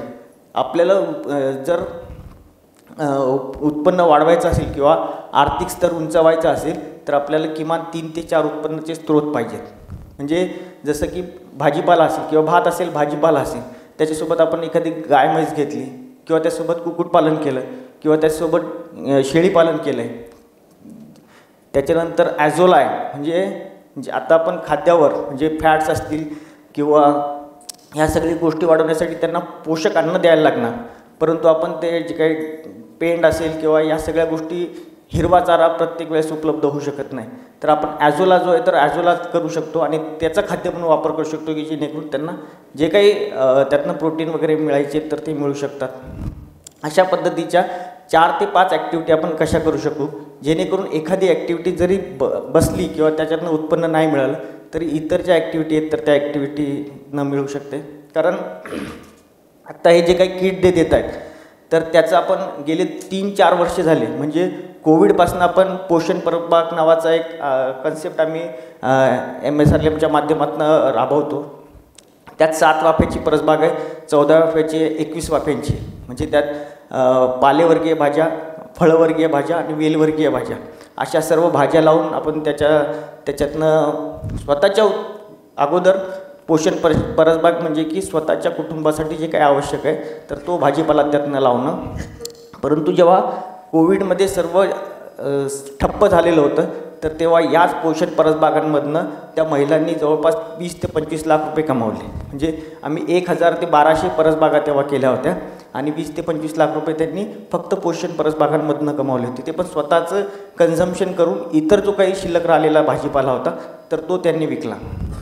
त्याच पद्धतीनं कुक्कुटपालन असेल कुक्कुटपालनातनं सुद्धा पन्नास ते साठ लाख रुपयाचं कोविडमध्ये विल उलाढाल किंवा विक्री झाली असेल शेळीपालन असेल त्यात आपण आता वाढ करतो आहे आणि सर्वात मोठा म्हणजे आम्ही काम करताना सर्वात मोठी अडचण अशी वाटली की वाशिष्ठी दूध डेअरी आली त्याच्यानंतर आपल्या म्हणजे आमच्या सत्तर टक्के कर्ज प्रस्तावांमध्ये डेअरी व्यवसाय यायला लागला.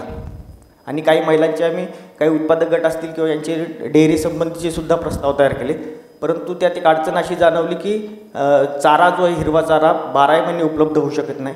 तर त्यासाठी मागच्या एक ते दीड वर्ष अगोदर आम्ही एक कोकण क्रांती मै शंभर टक्के महिला असणारी कोकण क्रांती महिला शेतकरी उत्पादक कंपनी तयार केली.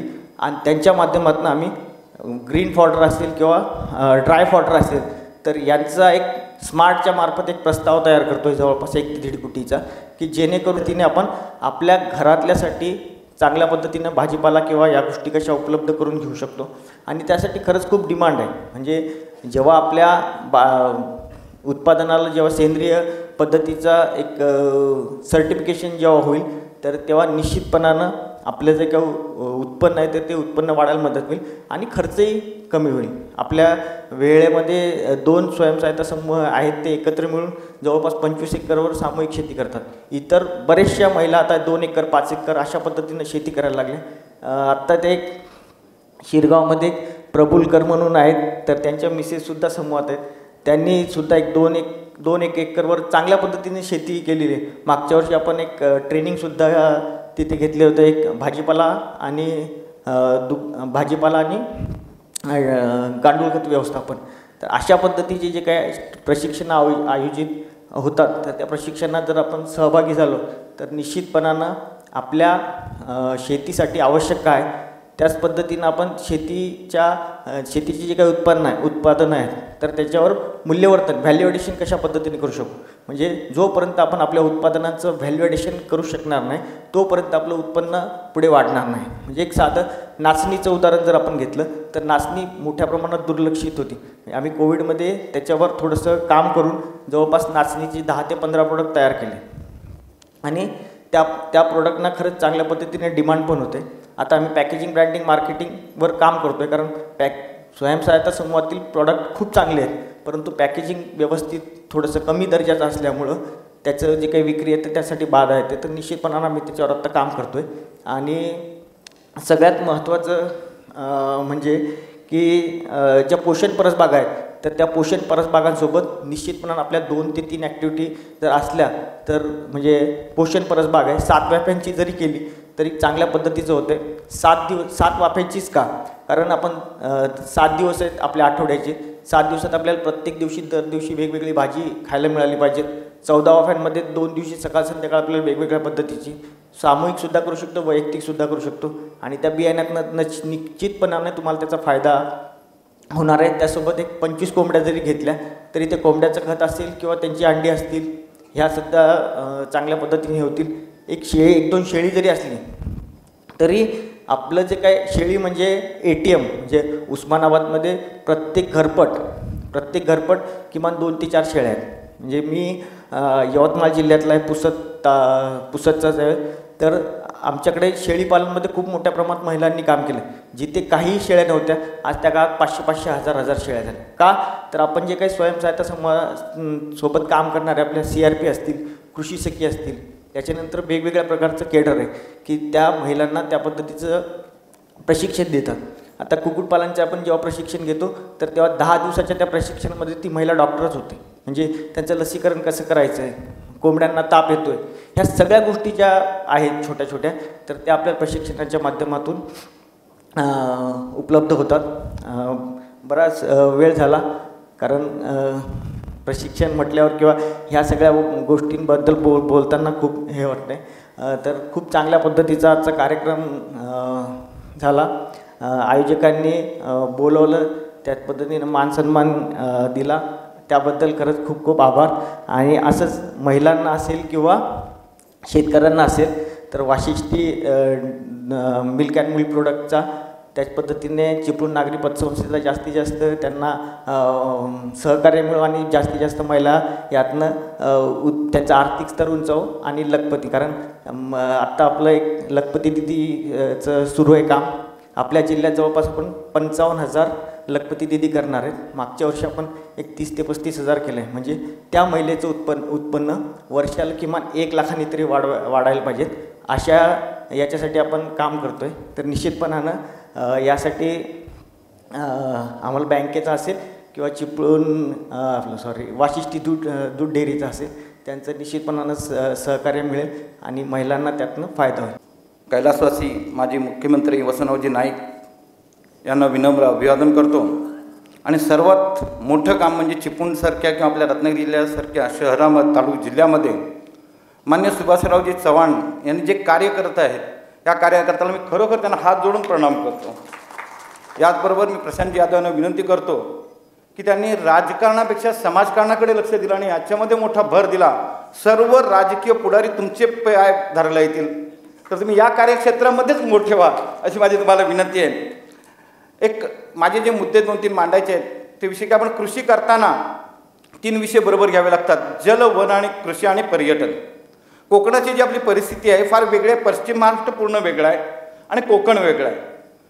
आपल्याला जर विकास करायचा असेल कोकणाचा तर पहिल्याला आपल्याला पाण्याची व्यवस्था करावी लागेल. आपण आज डिपेंड आहोत पूर्णपणे धरणावर. काही काळ जर आपलं धरणं बंद पडलं काही कारणानं तर आपली अवस्था अशी होणारी आहे की आपल्याला प्यायलासुद्धा पाणी मिळणार नाही. आहे आपल्याला जल जल हवं आहे तर आपल्याला त्यासाठी वन पहिले राखलं पाहिजे. ना वन आहे तर जल आहे. हा एक महत्त्वाचा मुद्दा मला तुमच्यासमोर मांडायचा याच्यासाठी आपल्याला जंगलं जपली पाहिजेत. आणि जे जुने गावातले नैसर्गिक जलस्रोत होते झरे होते डुऱ्या होते हे पुनश्च जीविन जिवंत केले पाहिजेत.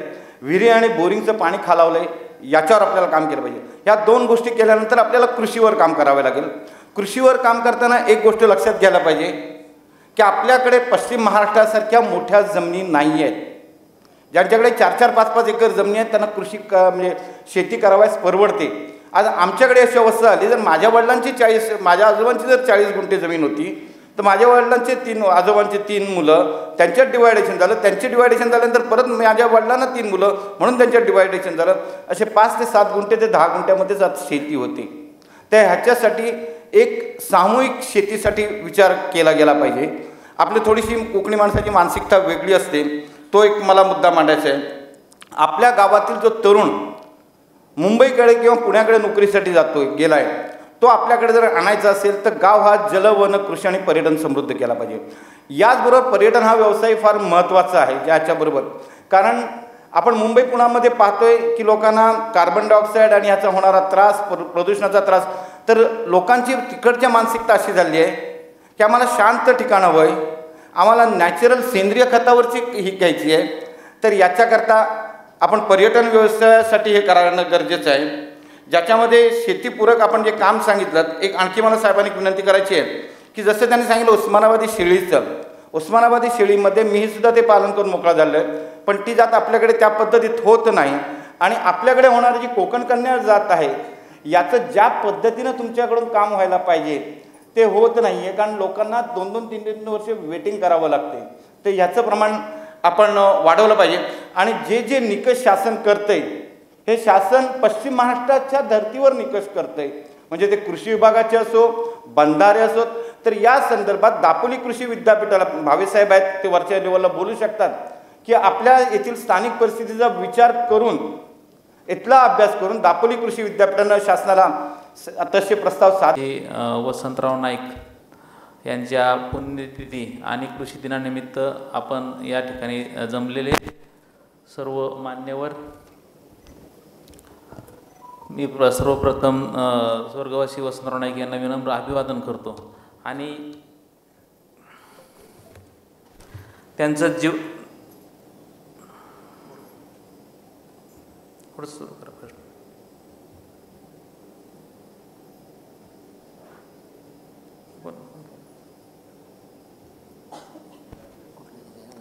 भाजीपाला भाजी खरीप हंगामातील भाजीपाला लागवड.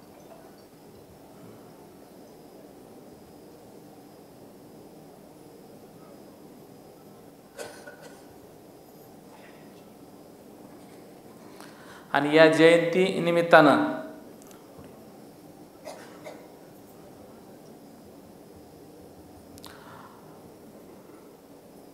Vashishtha milk and milk product ही संस्था आहे त्यांच्यामार्फत हा जो कृषी मेळावा आयोजित केला आहे त्यानिमित्त न आपल्या या ठिकाणी उपस्थित असलेले प्रमुख पाहुणे आदरणीय ज्येष्ठ पत्रकार ऋषितुल्य मधुकरजी भावे यांनी जो त्यां माननीय वसंतराव नाईक यांचा जो जीवनचरित्र आणि जे पन्नास वर्षाच्या किंवा साठ वर्ष सत्तर वर्षापूर्वीचं जे चरित्र आपल्यासमोर उभं केलं ते आपण इतकं भारावून गेलो. आणि आता मला तेव्हापासून भीती वाटायला लागली की एवढ्या मोठ्या माणसासमोर आपण कसं बोलायचे? असा प्रसंग माझ्यापूर्वी यापूर्वी कधी व- मला उद्भवला नव्हता. धन्यवाद सर. आणि मी फार भारावून गेलो आहे की आणि त्यांची ह्या वयामधली स्मरणशक्ती त्यावेळेची आणि त्यांचं डिवोशन असे माणसं आपल्या राज्यामध्ये देशामध्ये आहेत. म्हणूनच काहीतरी नैतिकता आणि आपल्या ठिकाणी चांगले कार्य होत आहेत असं माझं स्वतःचं मत आहे.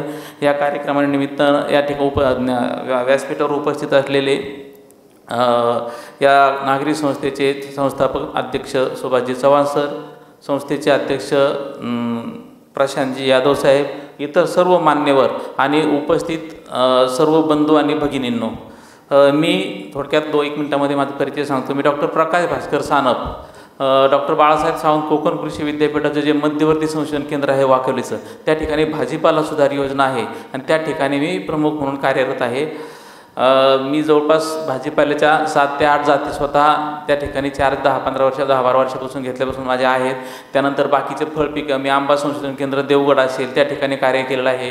भाटेचं नारळ संशोधन केंद्र आहे त्या ठिकाणी सुद्धा प्रमुख म्हणून कार्य केलेलं आहे. वेंगोर्ल्याचं जे फळ संशोधन केंद्र आहे त्या ठिकाणी कार्य केलेलं आहे. तर असं मला आणि शिक्षणाचं जे संशोधन करता करता शिक्षणाचं सुद्धा M S C P A टीचं शिक्षणाचं मी कार्य करत असतो. तर मित्र हो मला आज हा जो विषय दिला आहे भाजीपाला लागवड.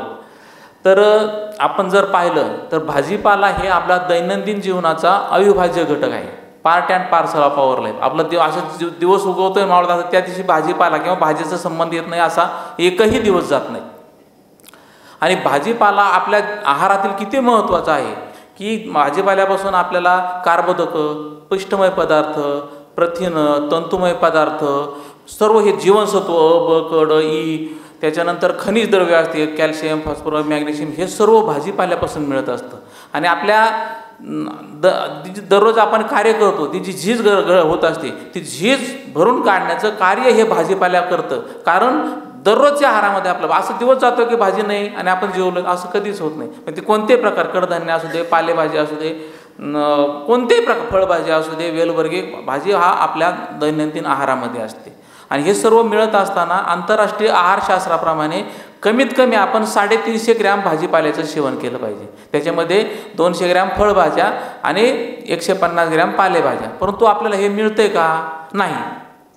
साधारणपणे फक्त एकशे पंचवीस ते एकशे पन्नास ग्रॅमच भाजीपाल्याचं आपण सेवन करतोय. म्हणजे मार्गदर्शक सूचनाप्रमाणे आपल्याला हे आणि आपल्याला हे हे करतोय. आणि हे त्याची तफावत जर पण काढायची जर असेल तर आपल्याला भाजीपाला लागवड ह्या त्याच्यावरती गांभीर्याने पाहणं हे फार गरजेचं आहे. आता भारताचा जर विचार केला तर साधारणपणे अकरा पॉईंट सव्वा अकरा ला दशलक्ष हेक्टर क्षेत्रावरती भाजीपाल्याची लागवड होते. त्यापासून साधारणपणे दोनशे पाच दशलक्ष मेट्रिक टन उत्पादन मिळतं. म्हणजे उत्पादन तर साधारणपणे सतरा ते अठरा टन प्रति हेक्टर. आहे त्या तुलनेमध्ये महाराष्ट्राचा जर विचार केला तर साधारणपणे नऊ पॉईंट त्रेसष्ट लाख हेक्टर क्षेत्रावरती भाजीपाल्याची लागवड होते. त्यापासून जवळपास एकशे पन्नास लाख टन उत्पादन मिळतं. म्हणजे उत्पादकता साधारणपणे साडे साडे पंधरा. आणि आपण म्हणतो की कोकणामध्ये भाजीपाला होत नाही भाजीपाला होत नाही पाऊस जास्त आहे दमट वातावरण आहे कीड आहे रोग आहे असं काही नाही. महा कोकणाची साधारणपणे पंधरा हजार चौदा ते पंधरा हजार आता शासकीय आकडेवारी थोडेफार कमी जास्त असू शकते पण साधारणपणे चौदा ते पंधरा हजार क्ष क्षेत्रावरती आपले एकर क्षेत्रावरती लागवड होते. आणि त्यापासून दोनशे पंचवीस द लाख टन आपल्याला उत्पन्न मिळते. आपली उत्पादकता सुद्धा अतिशय चांगली आहे. म्हणजे जसं यादव साहेबांनी सांगितलं की देशावरून भाजीपाला येतो पुण्याहून येतो मुंबईवरून येतो हे जर थांबवायचं जर असेल तर सुरुवात आपल्यापासून आणि आपली मानसिकता बदलण्यापासून गरज आहे. आपला कोकणाचा जर विचार केला तर दक्षिण कोकण आणि उत्तर कोकण हा दो दोन विभाग पडलेले आहे तर याच्यामध्ये उत्तर कोकण जो आहे त्याच्यावरती भातावर आधारित पीक पद्धती आहे. आणि दक्षिण कोकण म्हणजे आपला रत्नागिरी आणि सिंधुदुर्ग म्हणजे तळ कोकण ज्याला म्हणतो ती फळ पिकावरती आधारित कोकण भाजी हे पीक पद्धती आहे. तर याच्यामध्ये भाजीपाल्याचा जर विचार केला तर जवळपास साठ ते सत्तर टक्के भाजीपाला हा उत्तर कोकणामध्ये म्हणजे ठाणे नवीन झालेला आता पाय पालघर आणि रायगड या जिल्ह्यामध्ये होते. आणि साधारणपणे फक्त पंचवीस तीस टक्केच भाजीपाल्याची लागवड फक्त आपल्या तळ कोकणामध्ये होते.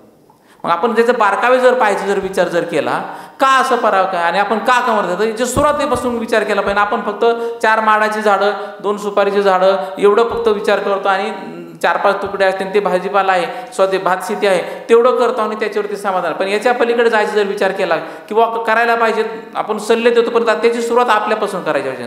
जो थोडीशी भाजी भा- भा- भाजीपाल्याची शेती करतो त्याने थोडं जास्त विचारती केलं पाहिजे. जो जास्त करतो त्याने आधुनिक तंत्रज्ञानाने जास्त केलं पाहिजे. जो काहीच करत नाही त्यांनी सुरुवात आपल्या परत बागेपासून त्यांनी सुरुवात केली पाहिजे. असं माझं स्वतःचं मत आहे. म्हणजे एवढं जर तुम्हाला त्याच्यापासून घटक मिळतात आपल्या ज्या माता भगिनी आहेत त्यांचं जे विशेषतः कष्ट शारीरिक कष्ट असतं बाकीचं असतं मुलांना जन्मजन असतं आणि त्याच्यापासून जी झीज होती. त्याच्यापासून जर काय आणि जी माता भगिनी असते ती फक्त काय करते?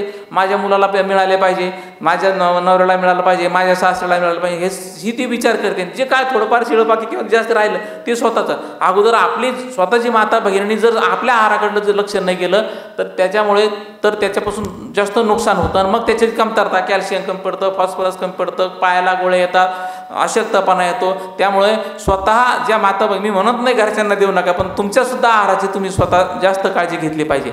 आणि मग याची सुरुवात करायची असेल तर आपण कोणत्या कोणत्या हंगामात कोणकोणते भाजीपाला पिका? आता मला सांगितलं की खरीप हंगामामध्ये सध्याच्या पण तुम्हाला कमीत कमी त्याचं ज्ञान देणं गरजेचं आहे की जर आपण जर बा- कोकणामध्ये जर जास्त पाऊस आहे मग नंतर येणारा रब्बी हंगाम आहे हिवाळी हंगाम म्हणतो नंतर उन्हाळी आहे. तर आता खरीप हंगामाचा जर विचार केला तर खरीप हंगामामध्ये कोणकोणत्या भाजीपाल्याची लागवड केली जाऊ शकते? तर खरीप हंगामामध्ये पुढची स्लाईड येत नाही गेले खरीप हंगामामध्ये विशेषतः सर्व प्रकारच्या पालेभाज्या आणि भेंडी याची लागवड चांगल्या प्रकारे होऊ शकते. मग पालेभाज्या कोणकोणत्या आहे? पुढची स्लाईड आली पाहिजे. असं सर काय हां सरकायचं काय ओके ठीक आहे. असू द्या.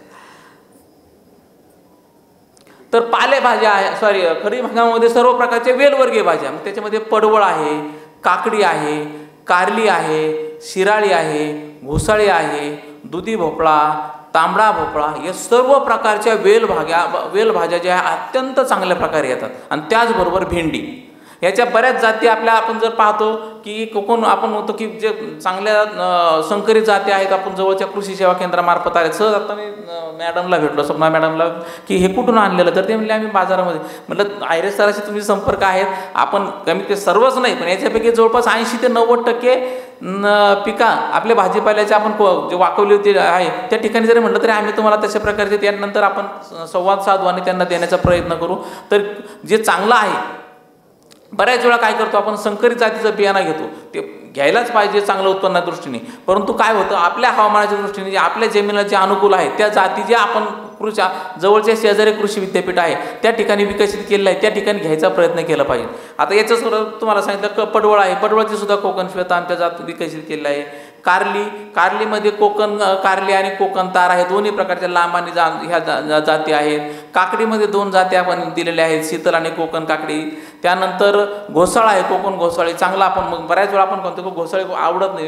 इन जनरल कोकणामध्ये पाहिलं तर पण घोसाळी हे जे आपण जे अन्न सेवन करत असतो ते पचन करण्याच्या दृष्टीने त्याच्यामध्ये तंतुमय पदार्थ जे असतात तर ह्या पाल्या जे वेलवर्गीय भाज्या आहेत त्याच्यामध्ये सगळ्यात जास्त तंतुमय पदार्थ फक्त चवमुळं लोक नाकारतात. परंतु ते घोसाळा आपल्या सेवनामध्ये कोणी कोणी आठवड्यातून एकदा तरी घाल खाल्लं गेलं पाहिजे. म्हणजे तुमचे जे बाकीचे जे न, काय म्हणतो जे विषारी पदार्थ किंवा जे नको असणारे पदार्थ असतात ते बाहेर मैल्याद्वारे बाहेर काढण्याचं जर प्रमा जास्त जो कोणती फळभाजी करत असेल तर ती घोसाळी आहे घोसाळ्याचं सुद्धा आमल्या सेवनामध्ये म्हणजे संतुलित आहार पाहिजे आपला.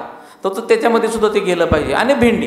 भेंडीची सुद्धा जी आपण कोकण भेंडी म्हणून दोन हजार सतराला मी जे म्हणजे जो याला जॉईंट अग्रोची मिटिंग असते आमची चारी विद्यापीठाची. तर सॉरी एकोणीसला राहुरीला झालं त्यावेळेस ही कोकण भेंडी अतिशय चांगल्या पावसात येणारी भेंडीचं सुद्धा आपल्याकडे बियाणं आपल्याला हे मिळू शकतं. तर याचं लागवड करताना दोन तर लवकरच आठवण मला माहिती आहे सर्व श्रोते आता कंटाळले आहेत. सर्व आणि भावे सरांच्या भाषणानंतर आम्ही बाकीचे बाकबक्त्यांनी बोलणं म्हणजे पुरणपोळीनंतर शिळ्या भाज भात भाजी खाणं असे आहे. त्याच्यामुळे तुम्ही कंटाळे आहे. त्याच्यामुळे मी मानसिकता समजू शकतो. पण आता इतकं यासाठी इथं आलो त्याच्यामुळे पाच मिनटं तरी आम्हाला दहा मिनटं पूर्ण कर्तव्य आहे. आणि तुमची मानसिकता आता मी काय प्रत्येक पिकाचं जसं आमचे मग एखाद्या ठिकाणी मेळाव्याला गेलो आम्ही की प्रत्येक पिकाचं मग ती लागवड कशी करायची त्याचं त्याच्या बियाणा कशा असतात जाती कशा असतात हे तर तुम्हाला समजेलच. मी ते दाखवतो ते आता सविस्तर सांगण्याचा तशी वेळ नाही आपल्याला. तर याच्यामध्ये मी प्रत्येक पिकाचं सांगण्याऐवजी आपण जेव्हा वेलवर्गीय भाजीपाला लावतो तर त्याची लागवड जर करायची असेल तर साधारणपणे चांगलं प्रतीचं तुम्ही एक ते दोन वेळा नांगरणी करणं गरजेचं आहे. म्हणजे जीवन जे आणि जमिनीमध्ये त्याच्यानंतर वाफे तयार करायचे. वाफे तयार करताना सुद्धा आपण बऱ्याच वेळा काय करतो आता जसं यादव सरांनी सांगितलं की शेतीपूरक उद्योग पाहिजेत. शेतीपूरक म्हणजे जवळपास इथले बरेच लोक तुमचे दुग्ध व्यवसाय करतात. म्हणजे रासायनिक खताचा वापर मर्यादेतच केला पाहिजे. आपण काय म्हणतो हां सगळ्यात महत्त्वाचं सांगायचं रासायनिक खतं असतील किंवा कीटकनाशके असतील याचा ठराविक जो हे आहे पातळी ठरवून दिलेली विद्यापीठाने. बऱ्याच वेळा विद्यापीठ काय करतं क कीटक हे असतील कीटकनाशकं असतील किंवा खतं असतील याचे चाचण्या घेतं. दोन ते तीन वर्ष त्याचे प्रयोग करतं. मग चार विद्यापीठाची संयुक्त सभा असते त्या ठिकाणी निकष ठरवून दिले जातात. आणि त्या ठिकाणी एवढंच या पिकाला कीटक खतं रासायनिक खतं द्यावेत. यावेळेस आपण या ठिकाणी कीटकनाशके द्यावेत. पण आपल्याला जर चकचकीत भाजीपाला जर भाजीपाला जर आपण बाजारामध्ये जर गेलो तर आपण काय करतो? मस्त जो चकचकीत किडलेले नाहीत. तसे भाज्या निवडतो. आणि तोच ठिकाणी आता गेल्या जर गेल्या पाच ते दहा वर्षाचा जर आपण अभ्यास जर केला तर पोटाच्या कर्करोगाचे प्रमाण हे इतकं भयानक वाढलेलं आहे. म्हणजे जर पहिलं पूर्वी लोक कसे म्हणायचे थंडी ताप आला पडसं आलाय तसं आपल्याला दररोज एक माणूस भेटला की कर्करोगाचा. आणि आम आपल्यामधले सुद्धा आता बऱ्याच जणाचं येणाऱ्या कालामध्ये भीती आहे. त्याचं कारण सांगतो की हे कोणतेही पिकं असू दे तर याच्यावरती वारेमाप जे आपण रासायनिक कीटकनाशकाची जी फवारणी करतो त्या फवारणीमुळे त्याचे जे अवशेष असतात आणि ते पोटात जातात आणि त्याच्यामुळं सगळ्या बाकीच्या कर्करोगापेक्षा पोटाच्या कर्करोगाचं प्रमाण हे अतिशय वाढलेलं आहे. त्याच्यामुळं बाबांनो जे रासायनिक खतं असतील किंवा कीटक नाशकं असतील वापरा. परंतु जे विद्यापीठाने ठरवून दिलेले जे निकष आहेत त्याच्या पातळीपेक्षा जास्त वापरू नका. आपल्याला वाटतं अरे ही कीड आली ते रोग आलंय. आणि वारेमाप आपण जी फवारणी करतो चांगलं उत्पन्न मिळण्यासाठी आणि कीड राहण्या मिळण्या याचा नाश होण्यासाठी त्या ठिकाणी आपण फसतो केलंच पाहिजे जास्त उत्पन्नाच्या दृष्टीने परंतु त्यासाठी त्याचं प्रमाणसुद्धा अतिशय कमी असलं पाहिजे. त्यामुळं रासायनिक खताबरोबर असं- जसं यादव सरांनी सांगितलं की दुग्ध व्यवसाय आहे तर प्रत्येकाच्या घरी तुमच्याकडे शेणखत आहे. ऑर्गॅनिक म्हणजे सेंद्रिय जे प्रमाण आहे शेणखताचं ते आळे तयार करून साधारणपणे दोन ते अडीच मीटर तुम्हाला तर वेगवेगळे जी पिकं आहेत त्याची लागवड कशी केली जाते?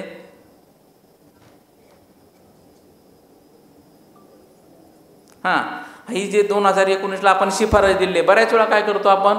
दोन ते अडीच मीटर याच्यावरती आळे तयार करतो आणि पन्नास पन्नास सेंटीमीटरच्या अंतरावरती सर्व वेलबाग्या मी काय म्हणत नाही काकडी सर्व पन्नास पन्नास सेंटीमीटरवरती त्याचं दोन दोन किंवा दोन बियाणं टाकतो आणि रुजल्यानंतर तर हे करत असताना बियाणं टाकत असताना आपण त्याच्यावरती ट्रायकोडर्मा जे रासायनिक किंवा कॅप्टन थायरम किंवा जर त्याच्यामध्ये जर बियाणं जर चुळून घेतलं तर नंतर कारण पाऊस जास्त असतो आणि बुरशीजन्य रोगाचा प्रादुर्भाव आता मी काय कीटकशास्त्रज्ञ नाही परंतु मग व्हेजिटेबल स्पेशलिस्ट असल्यामुळे मला सगळ्या गोष्टी सांगणं गरजेचं आहे. या आपले जे हे आहे आयरे सर ते तुम्हाला सॉईल सायन्सचं सांगते. बरंच काटकर साहेबांनी बऱ्याचपैकी सांगितलेलं आहे.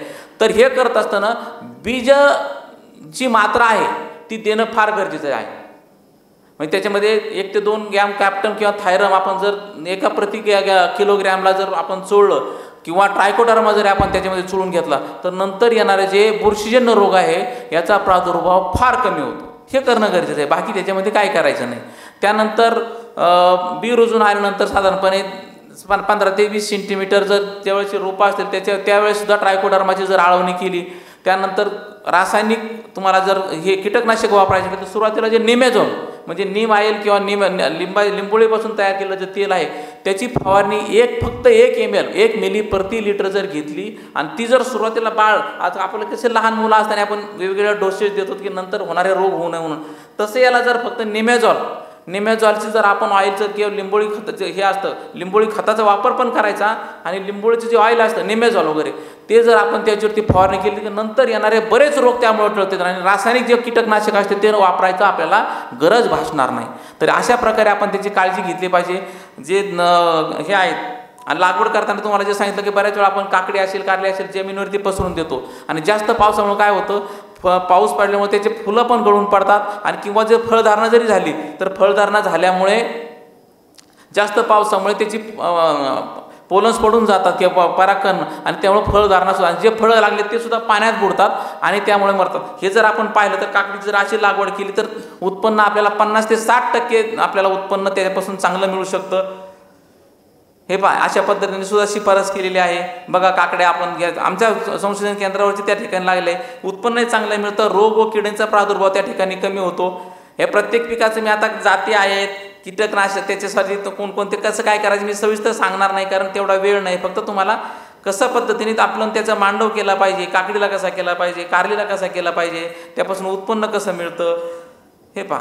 अशा पद्धतीने जर गेलं बांबू वगैरे किरकोळ असतात ह्या गोष्टी किंवा जर आज प्रत्येक शेतकऱ्याला बांबू मिळतील तर अशा प्रकारचा भाग नसतो तर आपण दोन शिऱ्या जरी घेतल्या आणि दोन साधारणपणे दोन मीटर अंतरावरती आपण ओळीवरती लावल्या दोन शिऱ्या एकमेकाला जसं आम्ही तुम्हाला मागाशी ते बांबूचं दाखवलं त्याच्याऐवजी शिऱ्या जरी केल्या आणि त्याच्यावरती सुद्धा कारली जास्त नाही दुधी भोपळे किंवा जे जड फळं आहेत ते नाही परंतु कारली आहे काकडी आहे ते जर याला लावलं तर त्याच्यावरती सुद्धा त्या वेलींची वाढ चांगली होती आणि पाण्याच्या संपर्कात येत नाहीत. हे पहा. हे मंडपावरती आपण याचे खरी मी ही स्लाईड या ठिकाणी देऊन देणार नाही. म्हणजे जरी कोणाला जरी तुम्हाला जरी पाहिजे असेल आणि माझा संपर्क नंबरसुद्धा देणार आहे की तुम्हाला जर काय भाजीपाला लागवड संदर्भात काय असेल तर काहीही माहिती तुम्ही मला कधीही मिळू शकता आणि मी तुम्हाला स- सविस्तर माहिती सांगेन. त्यानंतर वे योग्य वेळी ज्या क्रिटिकल अवस्था असतात तुमच्या म्हणजे फळांच्या वाढीच्या अवस्था असतात त्याच्यामध्ये फुलोरा सुरुवातीची वाढीची अवस्था फुलोरा येणारी अवस्था फळधारणा असावा आणि काढणीची अवस्था. योग्य वेळी योग्य जर गोष्टी केल्या तर आपल्याला बऱ्याच वेळा त्याचं चांगले फायदे होतात. मग क- जे रासायनिक खतं असते ते सुद्धा फ्लोराची अवस्था किंवा तुमचे ऑर्गॅनिक खतं शेणखत जर जास्त दिलं तर नंतर रासायनिक खताची जास्त आवश्यकता होत नाही. इन जनरल तुम्ही जर पाहिलं एखाद्या शेतामध्ये एखाद्या ठिकाणी थोडंसं शेण जर आपण साठवलं असतं आणि बाकीच्या ठिकाणी साठवलं नसतं. तर ते शेण ज्या ज्या ठिकाणी साठवलं असतं तर त्या ठिकाणी बाकीच्या तुलनेमध्ये दुप्पट तिप्पट वेलीची वाढ किंवा त्याला नंतर येणाऱ्या फळाची सुद्धा वाढ चांगली असते. त्याच्याहून रासायनिक सेंद्रिय खताचं किती महत्त्व आहे हे तुम्ही समजून घेणं गरजेचं आहे. त्या दृष्टीने आपली जी संस्था आहे जी आपली वैशिष्ट्य मिल्कॅन तर जे तुम्हाला आता लागवडीसाठी म्हणा ते अर्थार्जन करत आहेत किंवा आणखीन त्या पद्धतीने त्याचं योग्य नियोजन कसं करून हे पूरक भाजीपाला नुसतं दुधावरती अवलंबून राहता. बरं सगळ्यात महत्त्वाचं हे जे सर्व भाजीपाला आहेत अतिशय कमी कालावधीमध्ये येणारे आहेत. सात तीन ते साडेतीन महिन्यामध्ये. काही जे पालेभाज्या आहेत ते साधारणपणे दीड ते दोन महिन्यामध्ये ती- तीस ते चाळीस पंचेचाळीस दिवसामध्ये जे आहेत पालेभाज्या पालक असेल मेथी असेल मेथी थोडीशी कमी येते त्याच्यानंतर कोथिंबीर असेल हे जे सर्व भाज्या आहेत ते आहेत. दुसरी मानसिकता म्हणजे हे झालं खरीप हंगामामध्ये जे आपण भाजीपाला लागवड करतो की पावसाळा खरीप हंगामानंतर पावसाळ्यानंतर भात शेतीनंतर जो रेसिड्युअल मॉइश्चर असतो किंवा पावसानंतरचा जो ओलावा असतो त्याच्यामध्ये जे खरीप हंगामामध्ये कोणत्या भाजीपाल्याची लागवड केली पाहिजे आपण? आता मी याचा पीपीटी आणलेला नाही खरीप हंगामातील सॉरी रबी हंगामातील. तर सर्व वांगी वर्गीय भाज्या त्याच्यामध्ये वांगी आहे मिरची आहे त्याच्यानंतर टोमॅटो आहे त्यानंतर शेंगवर्गीय भाग आहे. म्हणजे लेग्युमिनस व्हेजिटेबल्स म्हणतो. त्याच्या पा पड पावटा आहे त्याच्यानंतर घेवडा आहे वाली आहे. वालीचं सुद्धा उत्पन्न आपल्या प्रकारे चांगले आहे. आणि ह्या सर्व भाज्यांचे आपल्याला कधी या ठिकाणी बियाणं आपल्याला त्या ठिकाणी कोकण कृषी विद्यापीठामध्ये मिळू शकतं. तर याची लागवड चांगल्या प्रकारे केली जात. तर क- रब्बी हंगामामध्ये तुम्हाला सांगायचं की जे वांगीवर्गीय भाज्या आहेत त्याच्यामध्ये आपण बऱ्याच वेळा म्हणतो की असं अरे झाडं बऱ्याच वेळा चांगले असतात. आणि टोमॅटो असेल वांगी असेल किंवा मिरची असेल तर आज रात्री आज आज दिवसा चांगले दिसत आणि दुसऱ्या दिवशी आलं तर असे अचानक सुकले सगळे ते. ते जीवाणूजन्य मरलो आपल्या ज्या कोकणातील जमिनी आहेत तर त्याच्यामध्ये ह्या विल्ट शिक आहे त्याला याच्यामध्ये काय म्हणतात इंग्रजीमध्ये? बॅक्टेरियल विल्ट ह्या जमिनीमध्ये त्याचं हे असतं. त्याला प्रतिकूल जाती आपण निर्माण केली आहेत. मग त्याच्यामध्ये वांग्याची कोकण प्रभा आम्ही जे दोन हजार सतराला विकसित केली आहे. टोमॅटोची को कोकण विजय. कोकण विजय आमच्याकडे एक लेबर होता. एक विजय काष्टे नावाचा मजूर होता.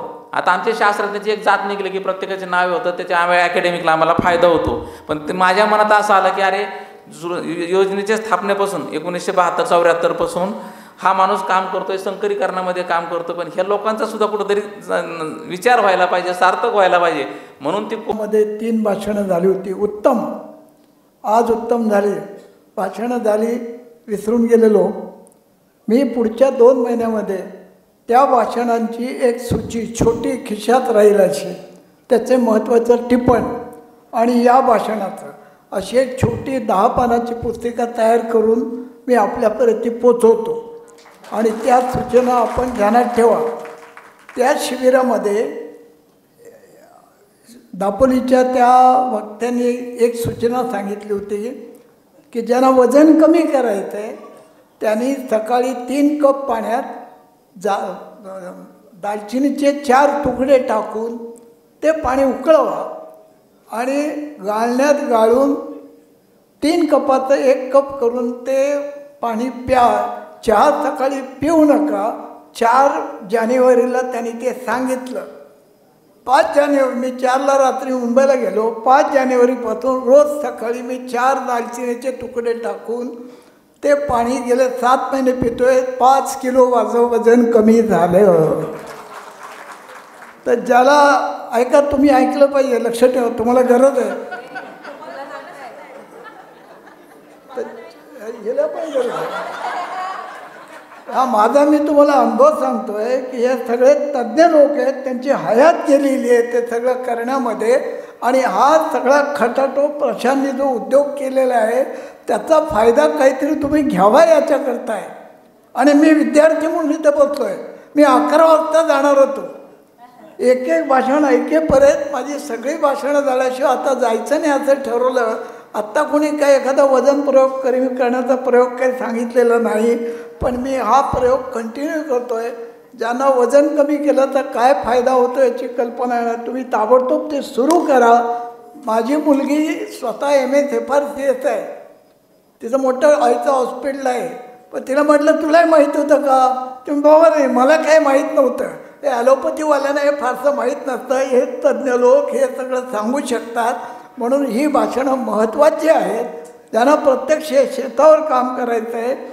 आता कोथिंबीर कढीपत्ता हे आमच्या वरांड्यात आम्ही करतो कुंडीमध्ये.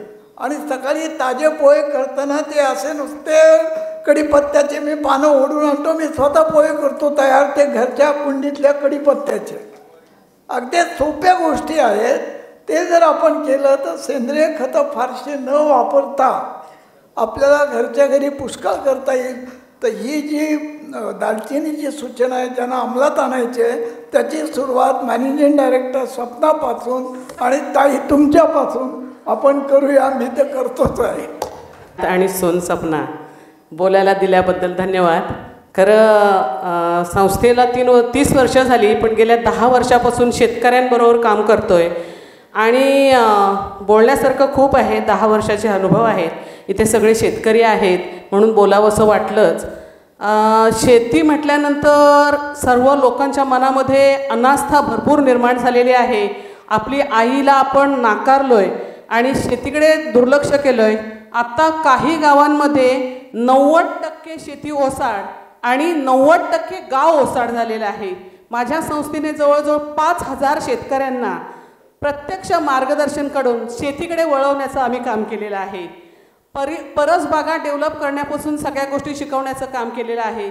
शेतीबद्दलची अनास्था जरूर तुम्ही दूर करावी अशी माझी शंभर टक्के विनंती आहे. कारण कोकण आहे कोकणामध्ये शेती नसेल तर आत्मा नसलेली माणसं जगल्यासारखं असेल. आता आपण माझ्याकडे माझ्या संस्थेकडे सतत लोक येतात की अहो आम्हाला रेशनिंगचं धान्य मिळत नाही आम्हाला रेशनिंगचं धान्य मिळत नाही. संपन्न सुसज्ज कोकणामध्ये रेशनिंगच्या धान्यासाठी याचना करणं ह्यापेक्षा मोठं दुर्दैव नाही. आणि आता काटकर सर इथे आहेत. मला वाटतं आता मंत्रालयामध्ये महिलांना घेऊन जाणार आहेत. मी त्यांच्याकडे रेशनिंगच्या तांदळामध्ये आलेले प्लास्टिकचे तांदूळ किती हवे तेवढे किलो त्यांच्याकडे देते. मंत्रालयामध्ये जरूर मांडा. आणि कुजलेले गहू मी त्यांच्याकडे पोचवते. त्यांनी जरूर हे मंत्रालयामध्ये मांडावं की ज्या मृगजळासारख्या या योजना दाखवताय आणि लोकांना जे दिशाभूल करताय लोकांचं जीवनाशी खेळणं आपण चालवले आम्ही शेतकऱ्यांना भाग पडले की तुम्ही शेतीकडे वळा. बायका टी व्ही समोर बसायच्या. आमच्या संस्थेच्या ज्या वेळेला मेळाव्याला यायच्या ज्या वेळेला मिटिंगला येतात त्यावेळेला आम्ही त्यांना एवढी एवढी पाकिटं बियाण्यांचे देऊन ह्या बायांना आम्ही शेतामध्ये आणि परसबागेमध्ये जाण्यासाठी भाग पडले. एवढे शेतीचे उपक्रम आम्ही केलेत की आमचा आपण अनुभव आला. आम्हीही जरूर पुस्तक काढण्याचं काम करणार आहोत. कोकण कृषी विद्यापीठाच्या शेळ्या पंचेचाळीस आणल्या होत्या आहिरे सर. एक सात आठ वर्षापूर्वी. साडेचारशे शेळ्या संस्थेनं आत्ता बाहेर विकण्याचं काम केलेलं आहे. के के व्हीच्या शेळ्या पाचशे रुपये किलोनं आम्ही त्या चारशे रुपये किलोनं उपलब्ध करून दिले वाडा मोकाडामध्ये संपूर्ण ठिकाणी. आता मोठ्या प्रमाणामध्ये कोकण कन्याळ शेळ्यांचं काम केलं जातं आणि तिथे मोठ्या प्रमाणामध्ये शेळ्या सांभाळल्या जात आहेत. संस्थेनं भरपूर उपक्रम केलेले आहेत शेतीसाठी भरपूर कामं केलेली आहेत. फक्त शेतकऱ्यांना जरूर विनंती आहे की शेतीला नाकारू नका. शेतीचं जास्तीत जास्त सन्मान करा कारण तीच खरं आपली आई आहे. बोलायचं खूप होतं ठरवून खूप आली होती परंतु वेळ ही आपल्याला मर्यादा आहे म्हणून सगळ्यांना तुम्हाला शुभेच्छा आजच्या मेळाव्यानिमित्त आणि शेती मतभेद जरूर तुम्ही दूर करा. त्याच्यासाठी दोन ओळी आम्ही जरूर म्हणतो. मतभेद विसरून या सारे. नवे चैतन्य भरूया रे. विकासासाठी एक वारे. समाज सुधारणा. चळवळीत या रे. समाज सुधारणा. चळवळीत या रे. पण आज कृषी दिनाच्या तुम्हा सगळ्या शेतकऱ्यांना मनापासून खूप खूप शुभेच्छा. एकच फक्त विनंती आहे जर आमच्यासारखी तरुण पिढी शेतीकडे वळतीये तर पारंपरिक वर्षानुवर्ष शेती करणाऱ्या माणसांनी शेती सोडून जाऊ नये. श्यामल मॅडम जसं आत्ता म्हणाल्या की राशनचं धान्य असेल किंवा कोकणामध्ये जी शेतीसाठी उदासीनता आहे ती थोडीशी बदलली तर कोकणासारखा समृद्ध प्रदेश कुठेच नसेल. मी स्वतः पश्चिम महाराष्ट्रातून आली आहे. माझं माहेर पुणे आहे. आणि तिथून इथे आल्यानंतर असं वाटलं की इथे थोडीशी मेहनत केली तर इथला सारखा जो आपण निसर्ग आहे हवामान आहे किंवा इथली जी माणसं आहेत थोड्याशा मेहनतीची गरज आहे. अपयश सगळ्यांना येतं आणि प्रत्येक वेळी आपण जी गोष्ट करू त्यातून यशच मिळेल असं नाही. आणि यासाठी फक्त संयम सातत्य आणि संघर्ष आपल्या कार्यात असलं पाहिजे. आणि शेती हे नेहमी शिकवते. गेल्या दहा वर्षापासून मी आणि माझे मिस्टर आम्ही पुण्यामध्ये शिकलेलो आहोत. पुण्यामध्ये नोकरी करत होतो. आणि दहा वर्षापासून मंडणगडला आम्ही गोशाळा चालवतो. आत्ता आमच्याकडे पन्नास गायी आहेत.